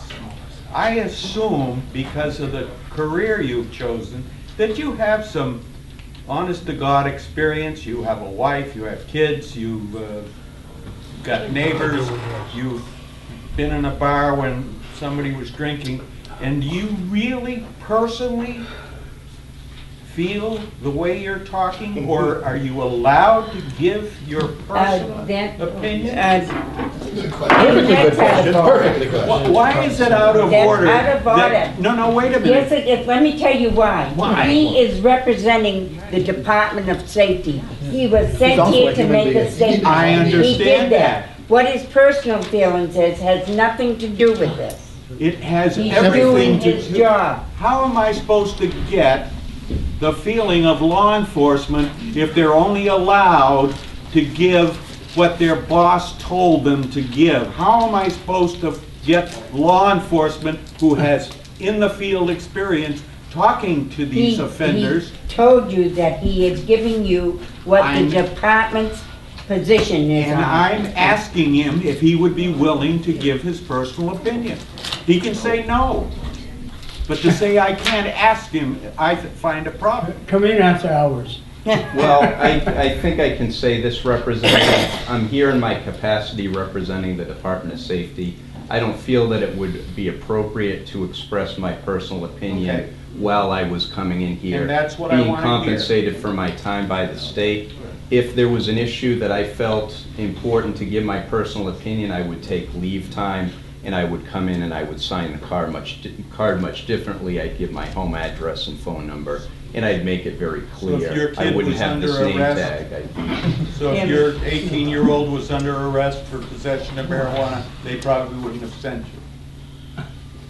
Well, I, would my opinion be different if I was involved with the child charge? It, it may, but I bet you it would. Are you that's, that's probably the best I Thank you. can answer. Representative First. Thank you, Madam Chair. Thank you for your testimony, Mr. Casco. Um, I, I hear that you object to this law because, uh, correct me if I'm wrong, uh, it's the department's position that you think that decriminalizing it may in fact lead to more use? Is- is Yes, that- that's, your that's opinion? one concern, and the, the idea that it could lead to use of more serious drugs and have other unintended. Well, I don't want to get into, I just want to deal with marijuana. So, so my, my follow-up to that would be, if, if the current law is, in my logical extension, if current law is resulting in um, a very high use among young people, I don't know what it is among all ages, but New Hampshire has a very high use percentage per capita of young people of marijuana. Um, Are you then advocating we should have e- even stricter laws? Is, is that, is that what we should have? We don't advocate for stricter laws, but current laws should remain unchanged until we have gone through a methodical process and looked at all of the portions of this bill before passing it and being sure that we consider all of the consequences first. Just one, one follow-up with the, then at this point, you don't have any comment on the relationship between the current law and the high use? You you No. think there's no correlation? I, I I don't think I'm qualified to answer that. I I don't, and if, certainly if there is a correlation that the law is too severe and it's causing more use, then certainly if that If after looking at it, that's what the conclusion was, then certainly the department would consider that and whether or not going forward with a bill like this would be a, a good solution or not. Thanks. Representative Bamford. Thank you. A a poet I'm fond of quoting these days uh, said, "Where ignorance is bliss, 'tis folly to be wise." Of course, the only way we get away from our ignorance is by looking at studies. You just referred to this being a gateway drug. I assume you're not going to say you've not heard of the study that the White House commissioned and Representative Fields. I'll give you the citations of the exact place and sources. Every stud- study I've cited has been with the exact citations that there is no cause between marijuana being a gateway drug and that's just not true. The thing that puzzles me, and my question is Uh, that you have, you have suggested that the Department of Safety would like to look at this, but this is not the first time the House has considered this bill. In fact, we've done it, what, four or five years in a row? By hundred votes several times. By a hundred votes several times. Wouldn't that compel you to look at the things? Why haven't you been looking at it for the six years that been, we've been dealing with this? That's a real question. You said you needed more time to look at it, but we've done this five years in a row now. Why haven't you looked at it with the experts in the field in those five or six years? Well, I, I think the only response I have is, is that there are a lot of things that the department has to look at in a limited amount of time. But wouldn't you want to look at something before you take a position against it? Well, I mean, Perhaps if Mr. Sweeney has taken a look at it. Perhaps he's very wrong if he thinks a good plant produces a pound. Thank you. Wait a minute. Well, we can't answer for Mr. That's- Sweeney. I- He didn't answer the question I asked him, would they be happy with just making driving under the influence the same as alcohol driving? Representative, We it already already have- is. It already is. Then You what's can't the drive problem? impaired. Well, the Then why problem would did be you if... bring it up saying this would uh, screw that up? Well, it was a concern that it could, we see a lot of drug impaired driving, and if you lessen the penalties for possession, part of the concern is that it may increase, it may increase drug impaired driving. So if a 16-year-old possesses alcohol, and then that's going to affect his punishment for driving under the influence? I don't understand why the two aren't connected with marijuana if you say they're not connected with alcohol. Well, I think with any use, if there's more use, if you lessen penalties and you have more use, more use could cause more impaired driving, is the thought process. Thank you very much, Thank you. Mr. Castro, Attorney Castro. We'll call Matt Simon.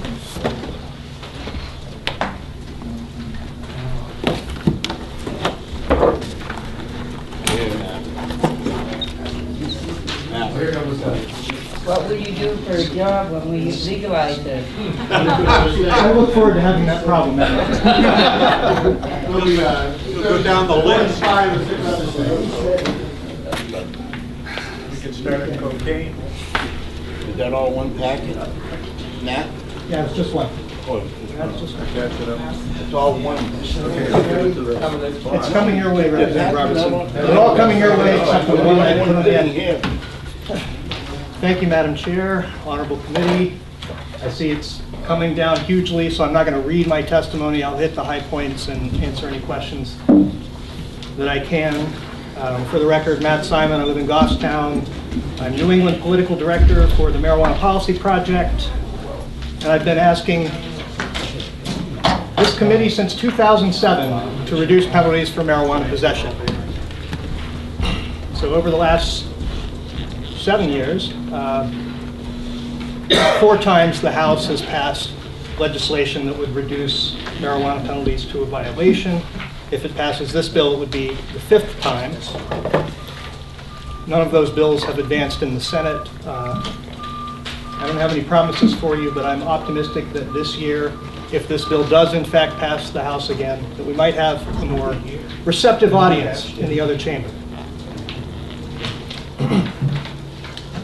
So first of all, the word decriminalization, I think it's understood now that we're not talking about legalization. Everybody has an opinion on legalization. It's been the talk of the state, I think, for the last month or so. This bill is not that. This bill, I think, is a good policy change regardless of whether we're going to legalize marijuana next year, 10 years from now, never. I think this is a reasonable and intelligent change to our current policy. We've seen poll results, which I'm, I know that Representative Vaillancourt has shared all of the poll results relevant to this question with you, but just to remind you, the recent poll last week was 53% support for legalization in New Hampshire, 38% of New Hampshire voters opposing legalization. Now, that's getting rid of the penalty entirely, no penalty. Um, This is a bill that would reduce the penalty to a violation. So I would say a majority of the state already thinks that a violation is in fact more than they think is appropriate. This is something that could be viewed as a compromise between the half of the state that thinks marijuana should be legal and the half that isn't so sure. But just to go back in time, we've heard, we don't know what the ramifications of Washington and Colorado are, and we don't. And I respect that argument against House Bill 492, which is a bill that will follow Colorado and Washington.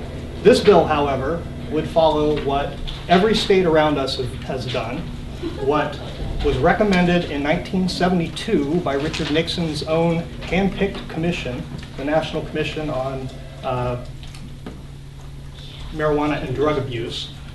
This was chaired by the former governor of Pennsylvania, Raymond Shafer. He was a Republican, a former prosecutor, was known as a law and order guy. He was Nixon's pick to chair this commission. In 1970, when the Controlled Substances Act passed, they put marijuana in Schedule 1, which is a category for substances with high potential for abuse and no known medical use. And at the time, the chair of the Federal Health and Human Services wrote a letter. He said, "We don't know enough about this substance yet. We should have, we should wait for the results of more studies. We should put it in Schedule 1 for now, and we should look at these studies." Part of that was the commission, on, on pre- on the the presidential commission. And in 1972, after two years of having hearings, of bringing in all the best experts, they concluded, which is at the bottom of the page, uh, the criminal law is too harsh a tool to apply to personal possession, even in an effort to discourage use. Uh, The actual and potential harm of use of the drug is not great enough to justify intrusion by the criminal law into private behavior, a step which our society takes only with the greatest reluctance. Um, They considered many options. They said criminal penalties are too harsh. We should not be doing this for marijuana. And in the 70s, 11 states uh, agreed with the Shafer Commission, implemented decriminalization. Maine was one of them in 1976, which incidentally is the year that I was born, 1976. For 37 years, there has not been, I'm dating myself or something, but uh, my whole life, there hasn't been a criminal penalty in Maine. And Maine has a lower teen marijuana use rate than New Hampshire today. If that, I mean, that's not an official, it's based, and that's based on two government surveys. And the surveys have been questioned here. All of these numbers, I'll go ahead and skip ahead to the handout that says, do harsh penalties for marijuana possession re- reduce teen use? Yes, I made these charts, but I made these charts out of numbers that are directly available on the, the sites of the two agencies that conduct these surveys. One of them is the Centers for Disease Control, and one of them is uh, the Substance, Substance Abuse and Mental Health Services Administration. So the first page shows Alabama and Mississippi. Mississippi decriminalized in the 70s. Alabama still has a very harsh criminal penalty for marijuana possession. 30-some years later, they're the same. Mississippi and Alabama are two similar states. I went to college in Mississippi. Alabama is very demographically similar. I would just say that Mississippi's been spending less time and money achieving the same teen use rates that Alabama has. You'll be more interested in pages three and four, which deal with northern New England. Um, And in 2010, uh, Maine's usage rate has declined the last several years and is lower than the national average now, despite New England generally being higher than the national average in terms of teen use rates. So, and then on the last page, I added some information on the Netherlands. And it's not a similar situation. In the Netherlands, adults have been able to buy small amounts of marijuana legally or semi-legally since 1976 also. And it's very fascinating to me that in the Netherlands, fewer adults have tried marijuana than here in the United States, where it's a crime, and teen use rates are actually slightly lower in the Netherlands, even though they don't have great regulation of, of their, of their system. So the assumption that use rates will go up if we decriminalize is not borne out by any evidence from anywhere. And the assumption that use will go up if we pass a medical marijuana law is also refuted by all of the available evidence. So I would love it if the agencies that came in here and testify were familiar with these numbers. There are two major government agencies, federal government agencies that oversee these surveys. They take place in all 50 states. And the people who argue against these reforms never present that data. It's always somebody like me that has to come in and crunch those government numbers because they don't tell the story that the federal government wants you to hear. That decrim will lead to all these terrible problems and, and increasing teen use rates. It hasn't happened with medical marijuana laws in the states, the 15 states where there's before and after data available. It hasn't happened in states that have reduced penalties as we're discussing doing. So I'd love to see a study to the contrary, and I'd love to know where their data comes from.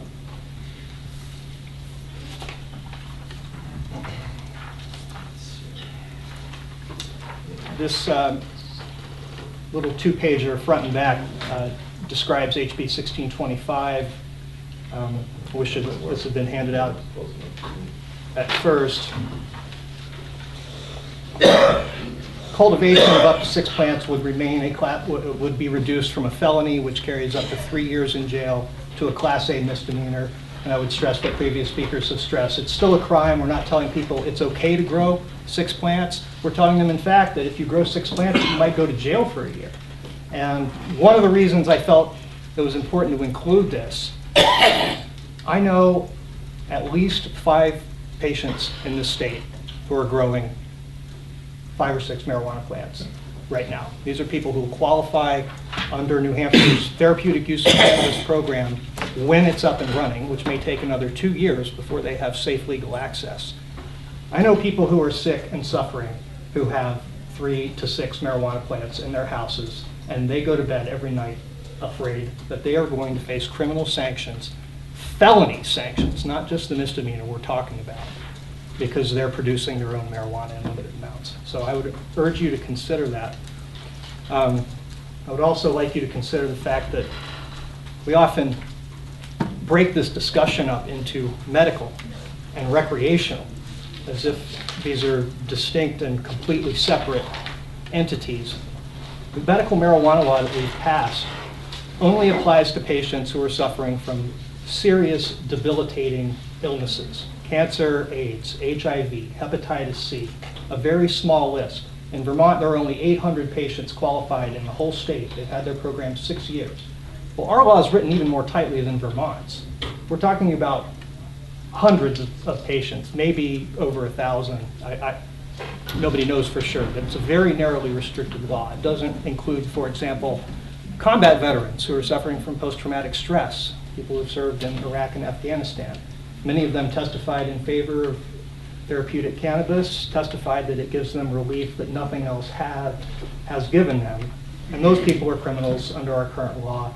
The therapeutic use of cannabis program will likely never protect them, and this would at least reduce their exposure to the criminal justice system.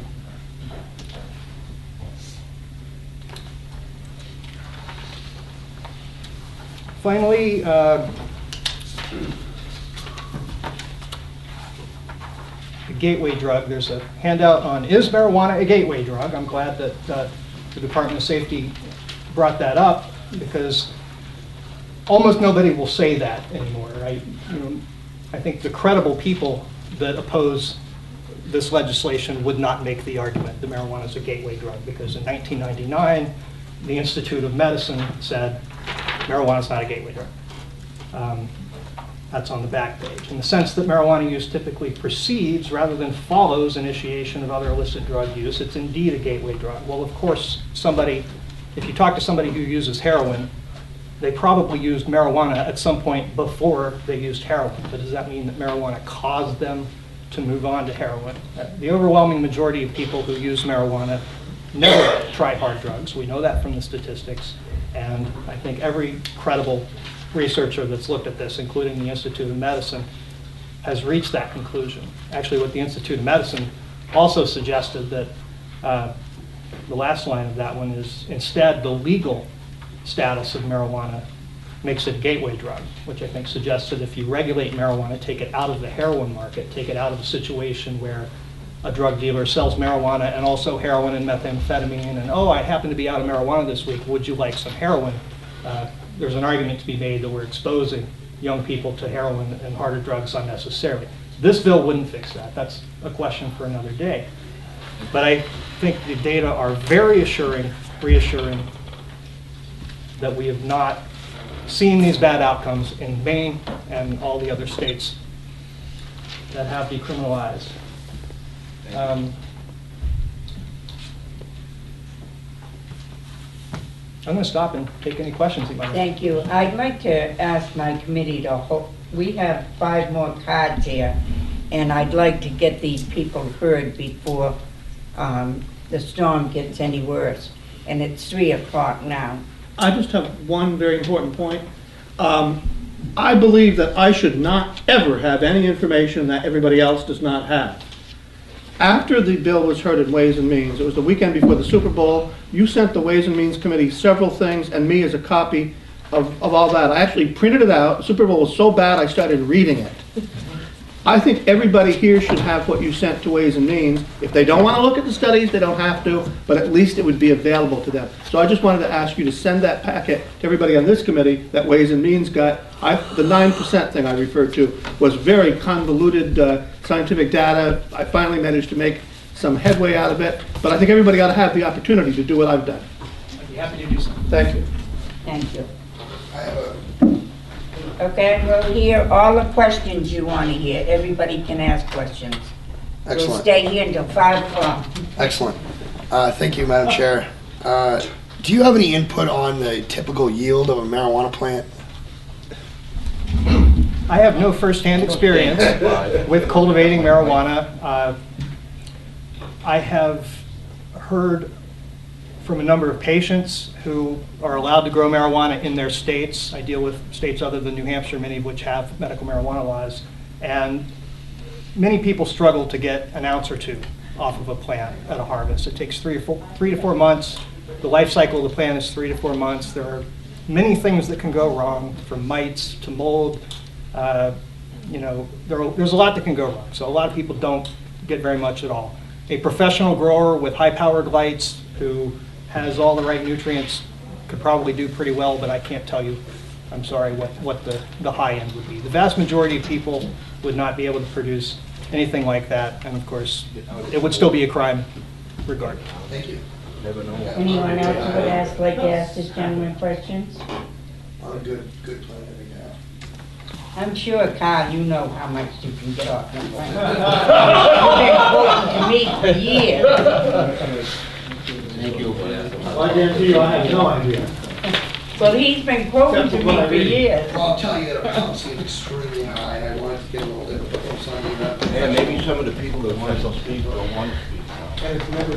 Uh, I believe this name is, I'm gonna say 24 Garden Street is a gentleman. Yes. And they're talking And I- business with one plant. I think, I wanted you to give me your name because the way it's written here, it looks like McNeil, is that It correct? is, it's Kirk McNeil. Yes, ma'am. Thank you, Madam Chairwoman, members of the committee. Um, I'll be as brief as I possibly can be.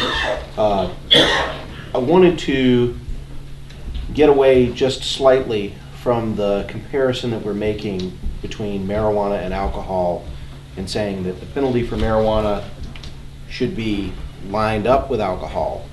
Instead, and I, I emailed the members of the committee uh, earlier this morning, but instead I want to draw your attention to Article 18 of the New Hampshire Constitution that essentially says the punishment should fit the crime.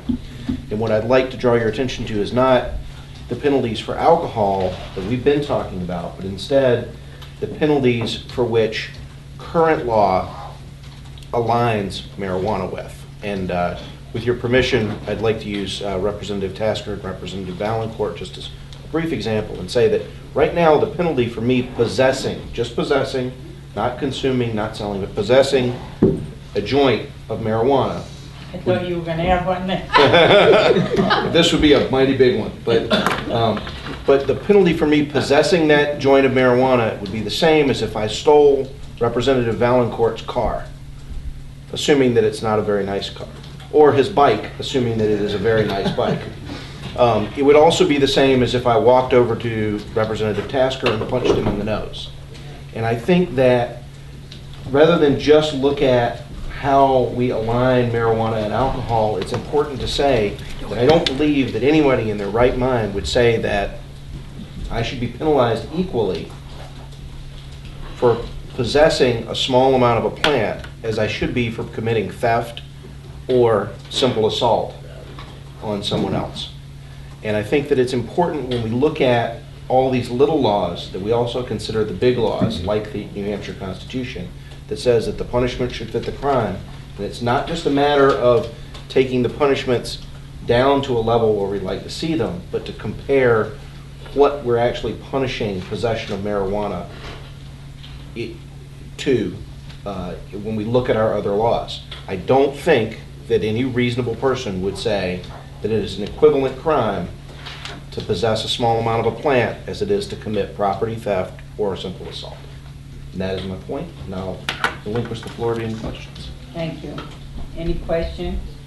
Uh, Representative Tasker? If you exchanged money for that joint, that would still be a felony under this law, correct? Indeed. Still a felony, okay. Under the law. Under the current law. Under the laws and under the current bill that we're considering. And, and just to be clear, I support the current bill. Any other questions? Seeing none, thank you very much, sir. Dennis Grogan, New Hampshire Liberty Alliance. Thank you, Madam Chair. I'll- I'm going to try to be brief and only make original points you haven't heard already. Um, As you stated, I am on the board of directors of the New Hampshire Liberty Alliance, which is a volunteer organization that um, rates legislation and legislators on liberty issues. The NHLA supports this bill, finding that it is pro-liberty. Reducing marijuana possession penalties to the violation level will produce much more freedom for the thousands of New Hampshire residents arrested annually. These individuals will face fewer restrictions on employment, travel, immigration, and interaction with police and the state, and they will enjoy more natural liberty with no criminal record. We live in a country in which press reports allege drug use by both the sitting president and his predecessor. In New Hampshire, our sitting governor is reported to have admitted marijuana use. Ladies and gentlemen, if our laws were perfectly enforced, Maggie Hassan might be subject to three years in jail, and Barack Obama and George Bush, if they had behaved in New Hampshire as they self-report, uh, behaving elsewhere, would likewise face jail time of three years. Do we want to lose the public service of our nation's political leaders because of youthful marijuana use? Use by New Hampshire youth, we- we've heard before, is the second highest in the nation. What future leaders are we losing today? Um, Finally, just a, a- a twist on uh, the, the great um, testimony that we've heard from Matt Simon about how very frequently evidence shows that reducing penalties on marijuana use leads to decreased usage. Decreased usage. What this means is that the opponents of this bill are in favor of higher rates of marijuana usage and higher lawbreaking by the citizens of New Hampshire. There's no other conclusion that we can come to. They effectively promote more marijuana use, the people who oppose this bill. Thank you very much. Thank you. Representative Vaillancourt? Thank you. Um, Some statistics, I mean, some polls have been cited, and I'm somewhat of a creature of polls. We had 53-38 in support of this. I have another poll that shows 65 to 29% in favor of the other bill. My question is, why? I never thought I'd live long in this. Do you, you have enough to see this? Do you have any idea of why public opinion has turned around so dramatically on this subject?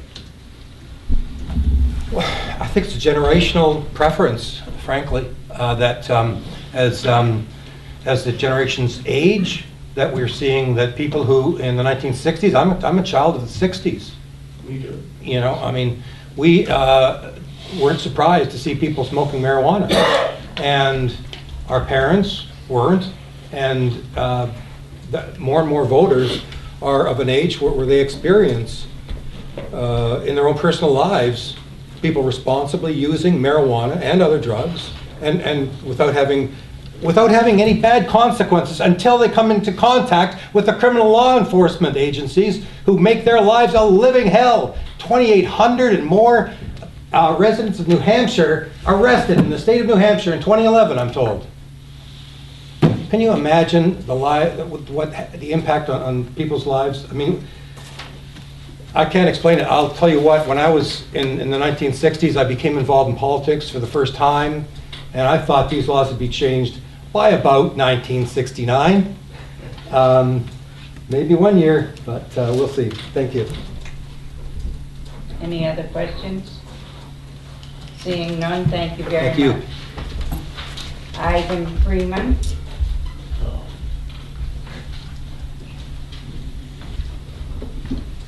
Right. My name's Ian, and I appreciate Ian, appreciate Is that your real name It today? is. It, it is. It's always my real name. Um, One time you came before me and you were another name. Al Capone, that's right. Yeah, that was a bit of theater. So um, I'm going to show you a picture, and I'm going to take a couple minutes longer than I expect because there's a lot that came up here. But I'm going to show you a picture. I don't want to show the camera just to protect this gentleman's privacy. This is Dan. I met Dan when I was in jail for uh, an act of civil disobedience that isn't an issue here.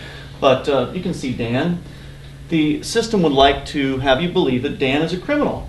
And that, uh, what did Dan do? Well, Dan sold some marijuana to some of his friends at Keene State College. And when I was in jail, um, he was one of uh, he came up to me when he was brought in because he came in after I was put in there. And he said, "Are you are you Ian from Free Keene?" Because I'm a blogger at a website called FreeKeene.com. I said, "Yeah, that's that's me."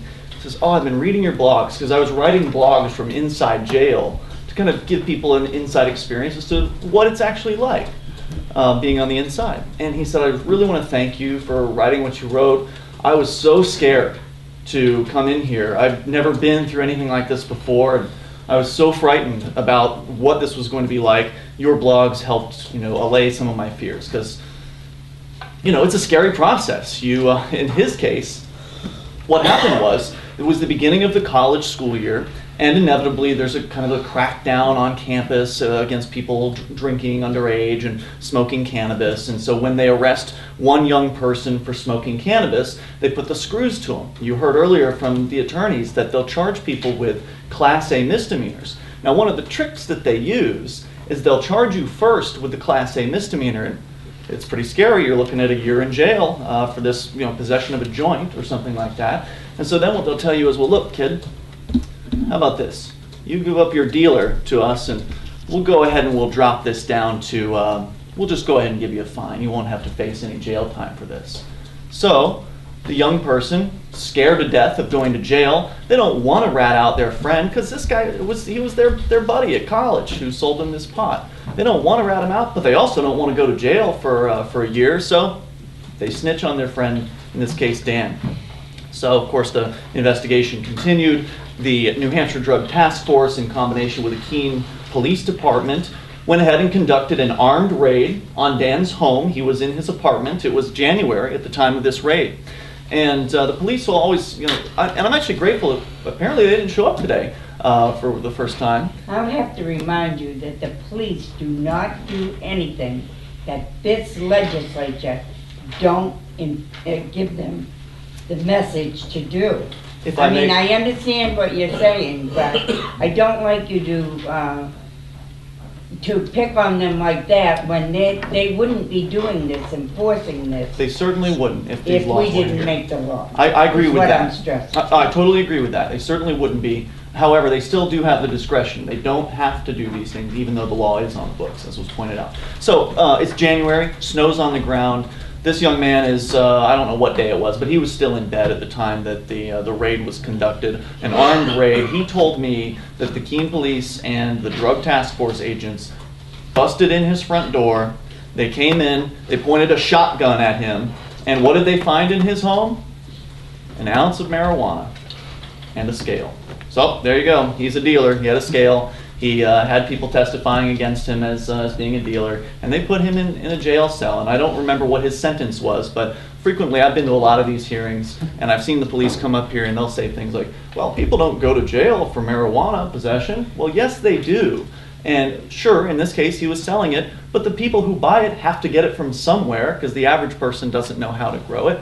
And I, this guy isn't a bad guy. He didn't hurt anybody, but yet taxpayers are forced to pay however many, you know, $30,000 a year to keep him behind bars. When he could have been in college, he could have been continuing his education, and uh, it's just a, another tragedy. And just one, I just wanted to share that, that one story, let alone the other 2,800 people that were arrested in 2011, as was, was pointed out here. So it is a big deal.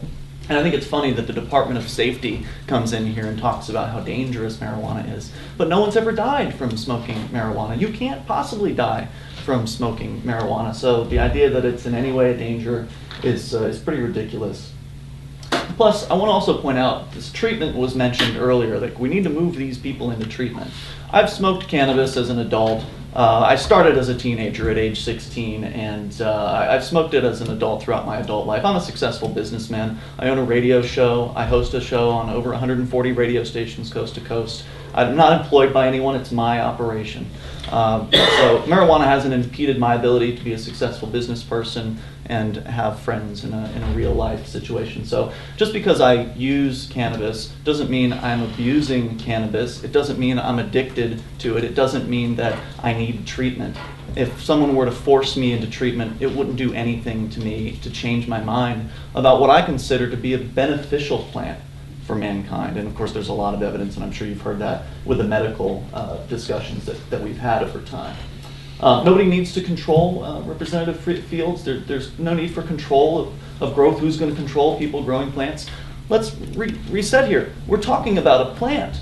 You don't have to control this. You can throw the seeds out in your backyard during the summertime and it'll grow all on its own.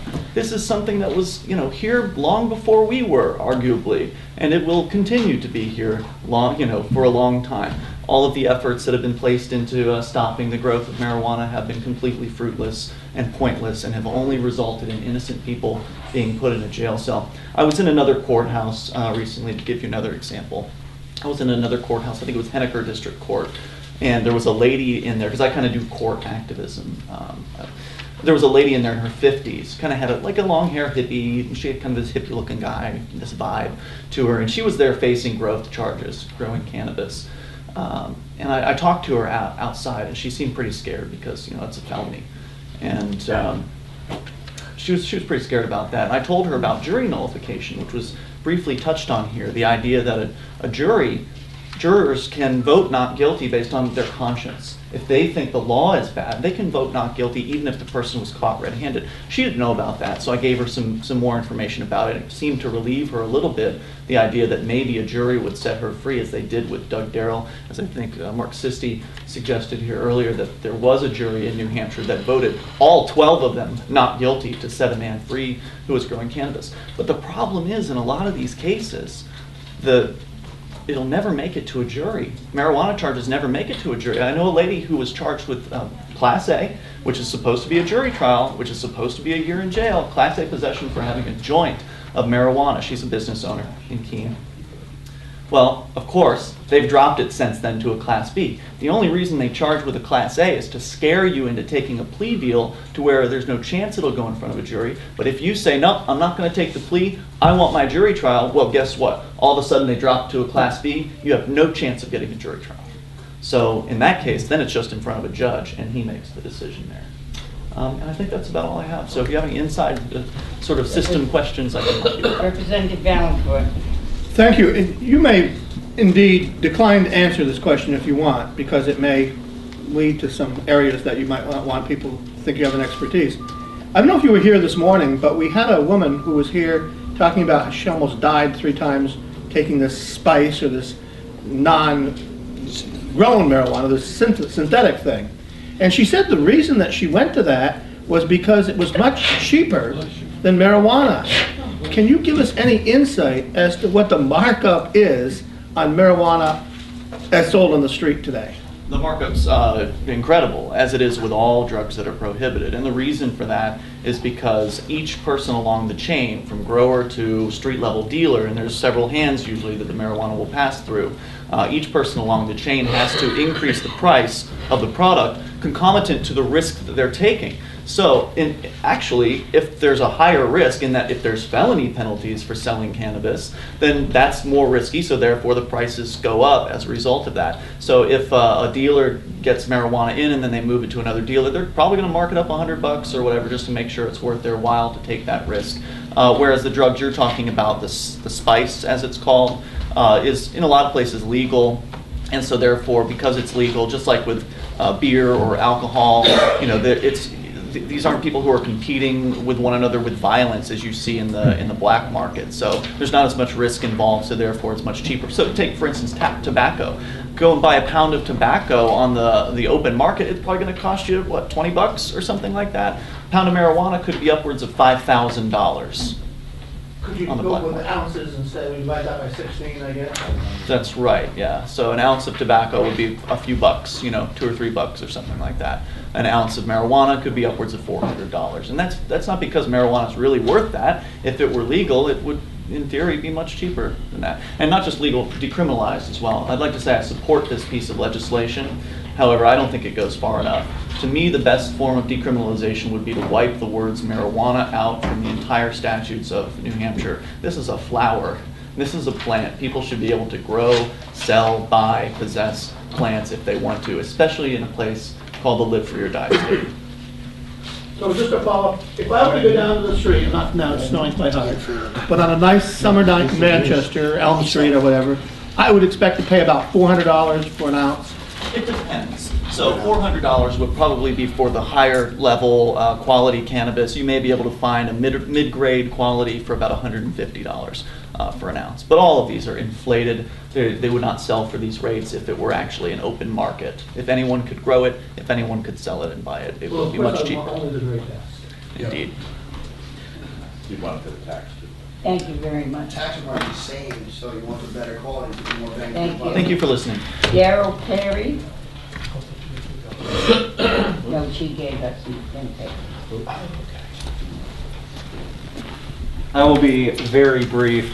Uh, Representative Tasker asked the question of approximately how much uh, usable cannabis one can get from a plant. So I did a Google search and it took me to the forum of a website called cannabis.com.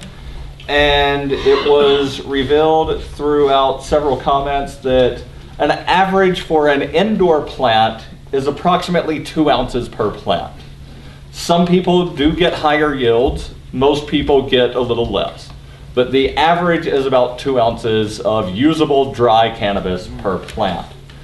Uh, Want to point out that last week during Governor Hassan's State of the State address, she said that she does not think people should go to jail for possession of cannabis, and I believe that this bill is a step in the right direction towards that. And further, I do find it rather hypocritical for the state of New Hampshire to arrest people for having one substance while profiting from the sale of something that is far more dangerous and indeed currently using profit from a certain type of vodka to do some kind of upgrade for flags. I do find that very hypocritical and would ask this committee to recommend OTP on this bill. Thank you. Question. Representative Vaillancourt. So if as a normal citizen, you were to serve on a jury, and you were to know that an average plant might produce two or three ounces, and someone were to tell you that it's 16 ounces, would you then discredit everything that person has told you as being untrue? Uh, I would not be inclined to believe anything that that person said. Thank you. Thank you very much, sir. It's not easy being an expert on something. Uh, Devin Shaffrey? Did I get it right this time? Chaffee. I, I told you, Madam Chair, many times you can call me whatever you like, any day of the week, and that is That fine. would be good. Thank you so much. Um, uh, For the record, my name is Devon Chaffee. I'm the Executive Director of the New Hampshire Civil Liberties Union, and I am here to speak in favor of HB 1625. Um, I'm going to be very brief in my comments. Um, I do want to make sure that all of the committee members have um, the infographic on New Hampshire uh, um, enforcement of marijuana possession, um, marijuana possession arrest. You, I want to make Yeah, we're definitely gonna need that. yeah, so I'll circulate this around. This, these are the um, statistics that Representative Tasker was referencing earlier, so I wanted to make sure that I was available to take any questions on those. Um, I think that what those, many of those numbers get to is exactly why we are seeing more and more states, including all the rest of the states in New England, are turning towards decriminalization because they simply feel that there are better ways in which they can use their law enforcement resources. Um, in fact, 72% of Americans, according to a Pew Research Institute survey from 2013, um, uh, 72% of Americans say that the government efforts to enforce marijuana cost more than they're worth. Um, and here in New Hampshire, as the infographic demonstrates, um, and this is according to a 2013 ACLU re- report, that the state of New Hampshire spent over $6.5 million on marijuana possession enforcement um, in a single year in 2010. We believe that this is a conservative estimate. It's based solely on our estimates of police costs, judicial and legal costs, and correction costs, so it doesn't even get into some of the um, more ex- potential um, extensive costs of these marijuana um, uh, arrests down the line.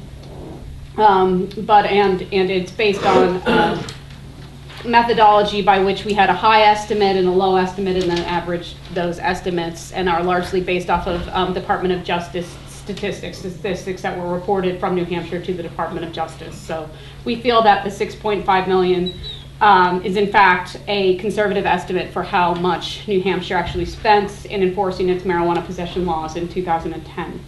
Um, and the bottom line is that there are better ways that New Hampshire could be using its taxpayer funds, especially um, given that um, the, the severe costs and the impact that these types of arrests, arrests for small amounts of marijuana possession can have on individual people's lives. We've heard already from prior testimony the impact it can have when it comes to employment, when it comes to people accessing financial aid, um, when it comes to, to being able to um, acquire housing, et cetera. And what is worse, and that is also represented in these statistics, as Representative Tasker noted, is that these laws are generally enforced, not just in New Hampshire, but across the country in a way that disproportionately affects minorities.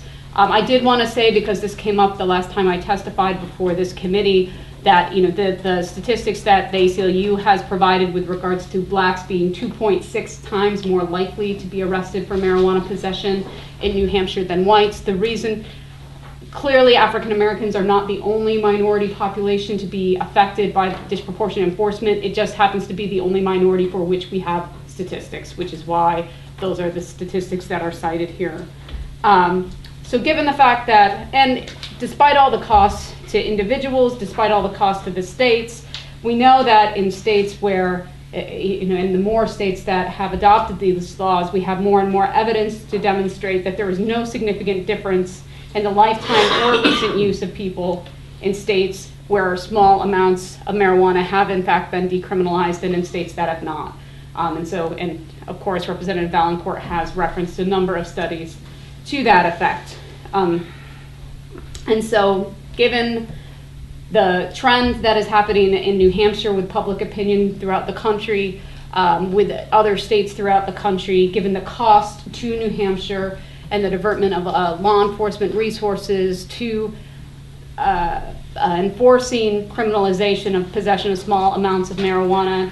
Um, and given the way, the disproportionate way in which these laws are enforced, I would urge you to reduce the penalty for possession of small amounts of marijuana um, and to vote all to pass on HB 1625.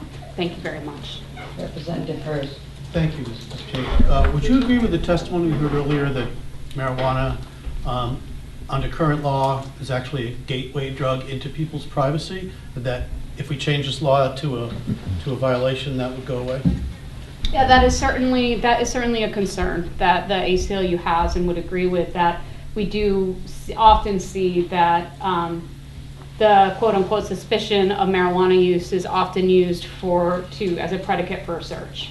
Um, And there are questions, you know, is, is that, is there actually reasonable articulable suspicion each time that that justification is used is, is a real concern for how often um, it's used in that way. So I would, I would agree with that. And in fact, we have seen in, in the case law how this is played out in other states like Massachusetts is exactly as you've said, Representative Hirsch, that once they move to a violation, they said you can't, you can't then use smelling marijuana, quote unquote, as a justification um, for a, a- a search when it's no longer, pos- mere possession of a small amount of marijuana is no longer a crime. And we certainly hope that that would be the jurisprudence that would be adopted here in New Hampshire um, should HB 1625 be passed. Um, I just have a question. Um, You're saying that they would not be able to search the car uh, for the smell of where- marijuana.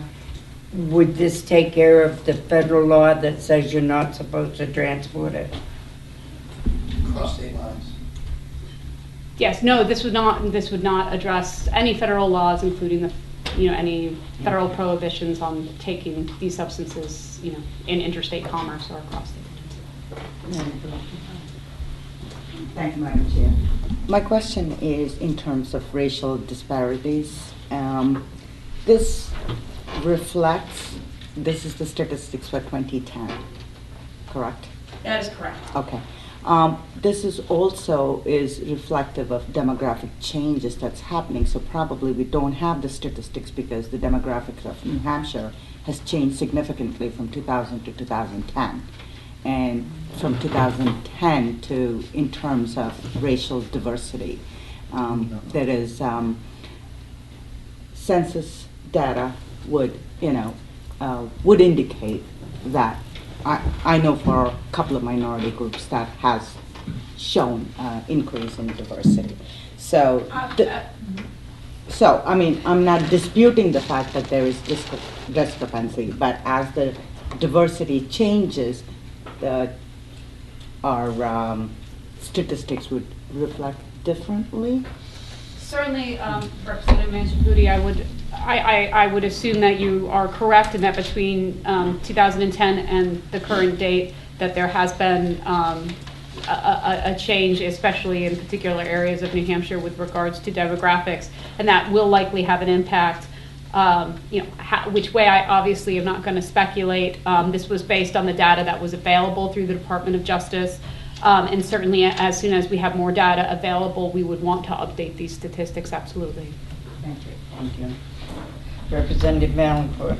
The only uh, major discrepancy here, and I want to ask you if you think it's just a statistical glitch or if there's something unique about Cheshire County. Yeah. It's basically three times as high as any other county. Most other counties are between the two and three, 3.3 percent range, but Cheshire is 9.8. Do you know anything if that's just a statistical anomaly, if there's something going on in Cheshire County?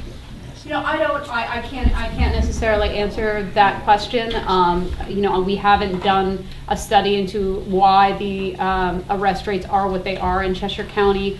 Um, we actually have had exchanges with, um, law enforcement in Cheshire County and, and just so that they're aware of this issue, so that they can be more, more, uh, uh, you know, aware of this issue going forward with regards to their law enforcement as well as, you know, conversations with, um, uh, the uh, correctional facilities there, um, so that they're aware that this may be an issue. But we certainly, you know, we are not, you know, I- we have not done a study into exactly what's leading to the disproportionate impact, um, and would need to look further. And we'll continue to, to be looking uh, more, we- a- a- as a result of this study, are much more alert as to what is, uh, how law enforcement in especially these counties where we see a particularly high rate of disparity are um, enforcing their marijuana possession laws. Thank you. Any other questions? Is that your county, Tim? Yes. I find it unbelievable. Ten times. Thank you very much. And we'll call Ter- Ter- Attorney Lucas, is is our last speaker. Come on in up there. I don't think the statistics are correct. Well, thank you all for hanging in there. A difference of opinion with some of the comments that have been made here today in support of decriminalization. Um, I don't have written testimony because sometimes when you're at the end, you wait to wrap up and then you, uh, Representative Hurst sends you, hands you a card and says, you will put something in writing for me. So I will promise to do that. With regard to the bill, um, and if you have a copy in front of you, fine. If you don't, I've got a lined copy, and that's what I'm going to be referring to. To the best of my knowledge, this committee, this House, has never voted on a bill supporting decriminalization that covered more than a quarter or a half of an ounce. This bill is an ounce. I am not aware of a bill that has been passed that does not include a specific reference outside the caption for personal use. There is no reference here to personal use. This bill also includes the decriminalization of hashish, a certain amount of hashish. That is of particular interest because of the fact that the potency rate for hashish is approximately 40% THC rather than even with the expressly cultivated amount, um, which goes in excess of 10 to 15 to 20. So I flag that for you because that has not been in any bills that you've had before. Those particular sections are on lines, on page one of the bill, on lines one through seven. The other thing I would like to flag for you is that although in the material that goes on in, on lines not eight through 20, there is specific reference to age. There is no specific reference to age in the section that says possession is legal, possession is, has no criminal penalty associated to it. So I would like to flag that for you. And I would also like to point out, with regard to the section on penalty provisions, with regard to people under age 18, which begins on line 11, that the notion, first of all, we've talked about treatment here. There's nothing in this section that talks about treatment. This section talks about a mandatory court referral to an education program. At the, within the state treatment system in this, in New Hampshire, second only to alcohol for adolescents and youth is treatment for marijuana, marijuana dependence and abuse. So given those numbers, to talk about this bill as one that provides access to treatment, regardless of who pays for it, misreads the bill. To the extent in this section that you are trying to make us all, that we are making ourselves feel better about the fact that we're treating people who are younger, who have come before the system with possession. We're giving them some assistance. The only assistance that you're providing here is to not have them be subject to a criminal penalty. And for you, that all may be enough. But to say that this section, which first of all involves court process, the court does this. So somehow you're going to get a person with a violation level offense into court, where the court is going to order education and community service with no structure in place to provide either of those things or to supervise it. That raises a related question of whether there are likely to be any judicial savings in a situation like this where the court is going to be responsible for creating and supervising both educational programs and community service programs. Having spent some time as the assistant director of the Juvenile Justice Agency at one point in my career, I know how very difficult it is to create, monitor, and supervise community service programs. So I raise that with you. your policy decision, it's not mine, but I think these are important considerations because this is a bill that you're voting on, not a policy.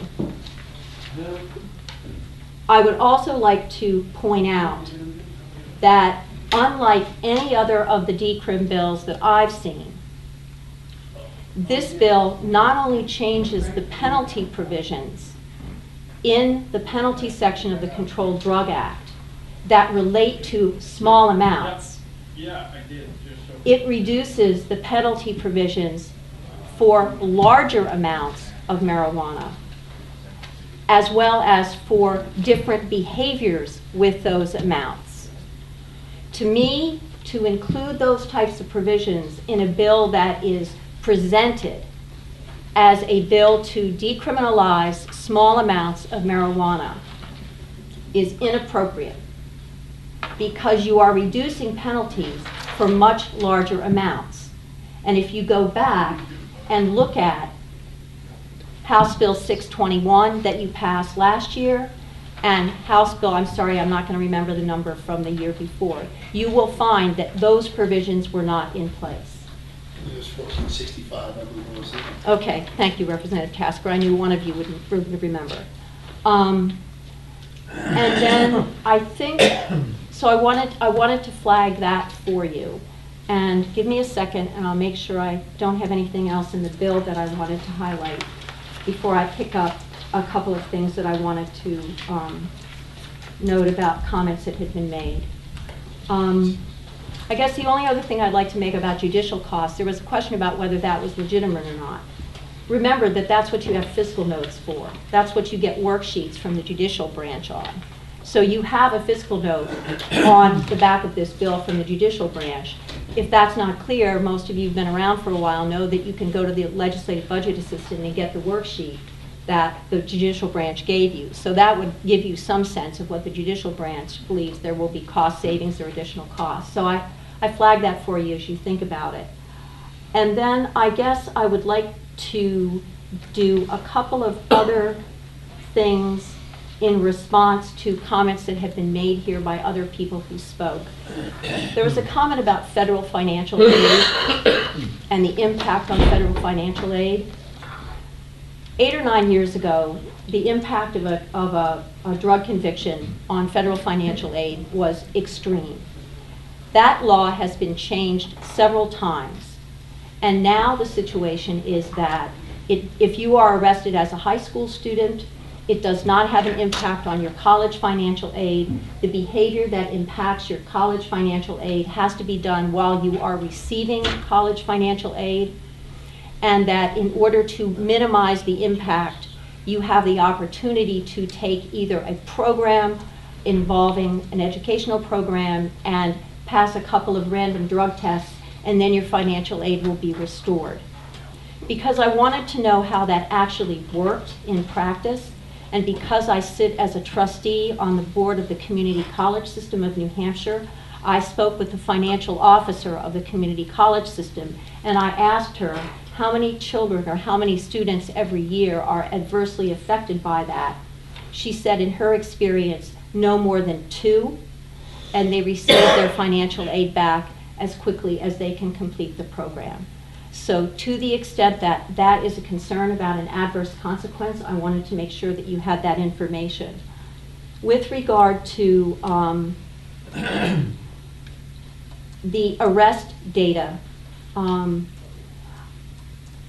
I, courtesy of a conversation that I had with Devon Chaffee and my review of the ACLU report, I will just tell you that when you continue to talk about this, this bill, um, I have questions about the, some of the methodology and some of the data analysis that's included in that report.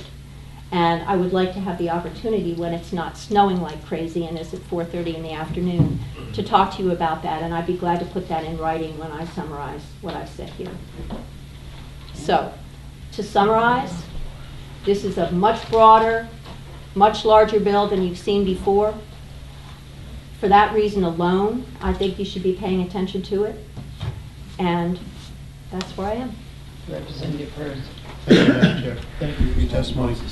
Um, If you recall a conversation we had regarding the uh, previous bill, the four- uh, 1492, I believe, the uh, legalization bill. Right.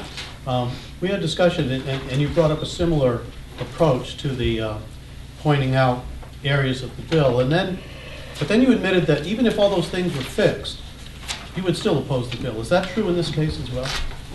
I think, and, and again, I'm, I'm, I'm, I'm immune from the, what's your personal opinion? Because I work for a nonprofit, we have a board, and we develop our positions Okay, well, for the from the organization. I think that it is time to look at what you can do with the existing laws to address some of the deficits that they have. Does this bill do it for me? No.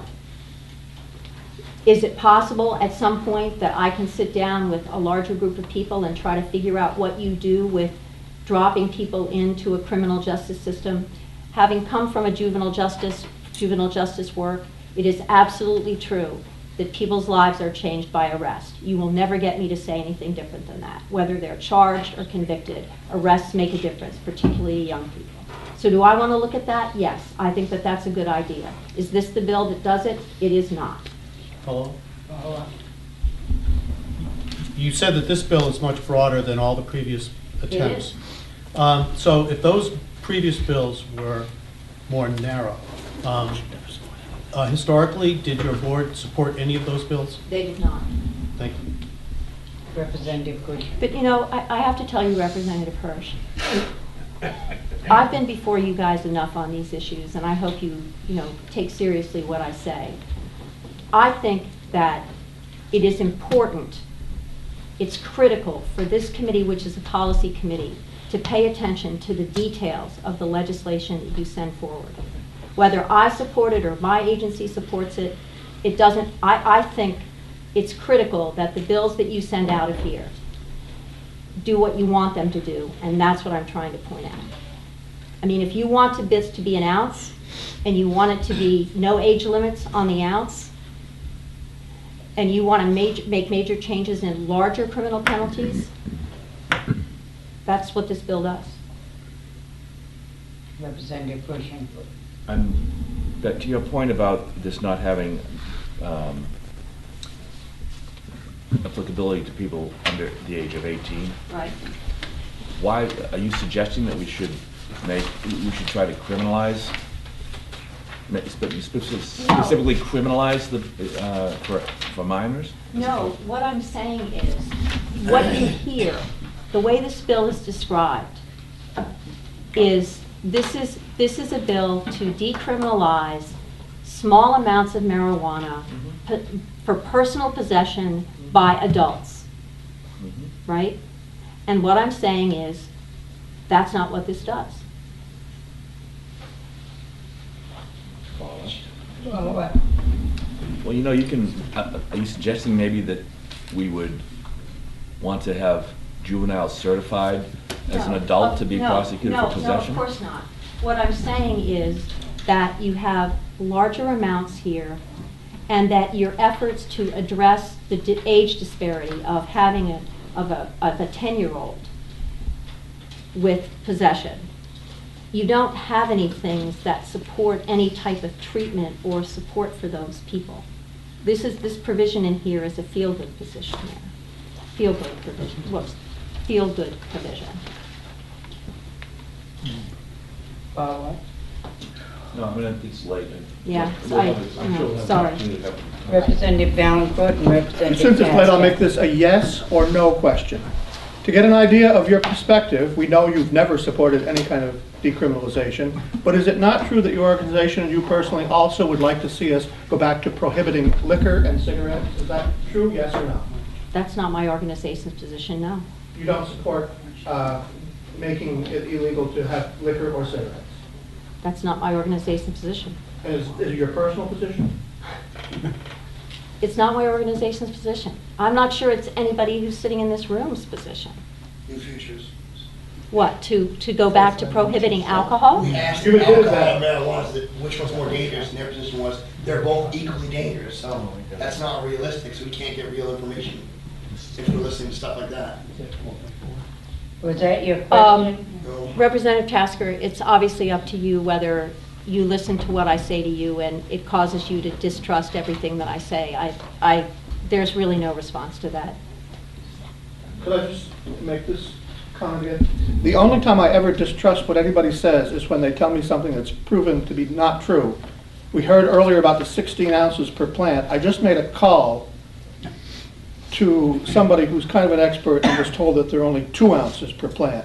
So by exaggerating, I never trust somebody that exaggerates. You told me only two people, you said, you testified only two people in the community college system had gone through this. That's, that's what I was told. when And I- you'll stand by that statement, so Well- if, if we find more than two, then we should disregard all your testimony. That's not necessary. Representative Vaillancourt, what I will do, since the information that I had was something that I, when I called the person last spring, when this bill was being, the previous bill was still involved, I will be glad to re-call that person again, and if the number is higher, I will be glad to correct my statement.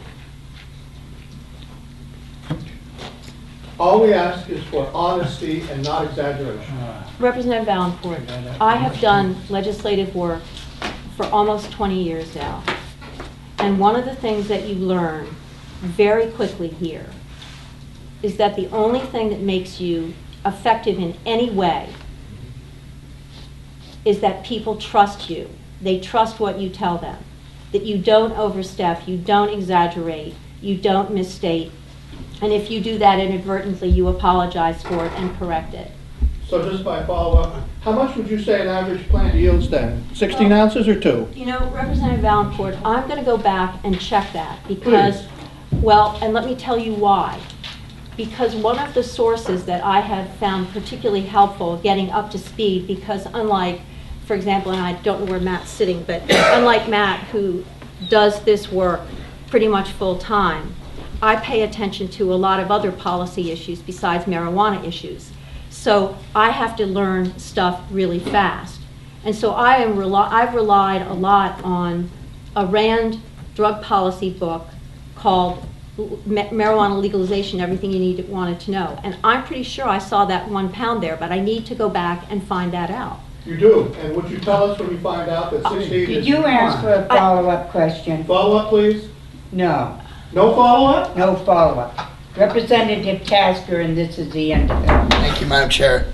I pulled up the bill that we passed last year, Yeah? HB 621, and originally it was a half ounce. It was amended down to a quarter ounce. Right, This committee voted to kill this bill.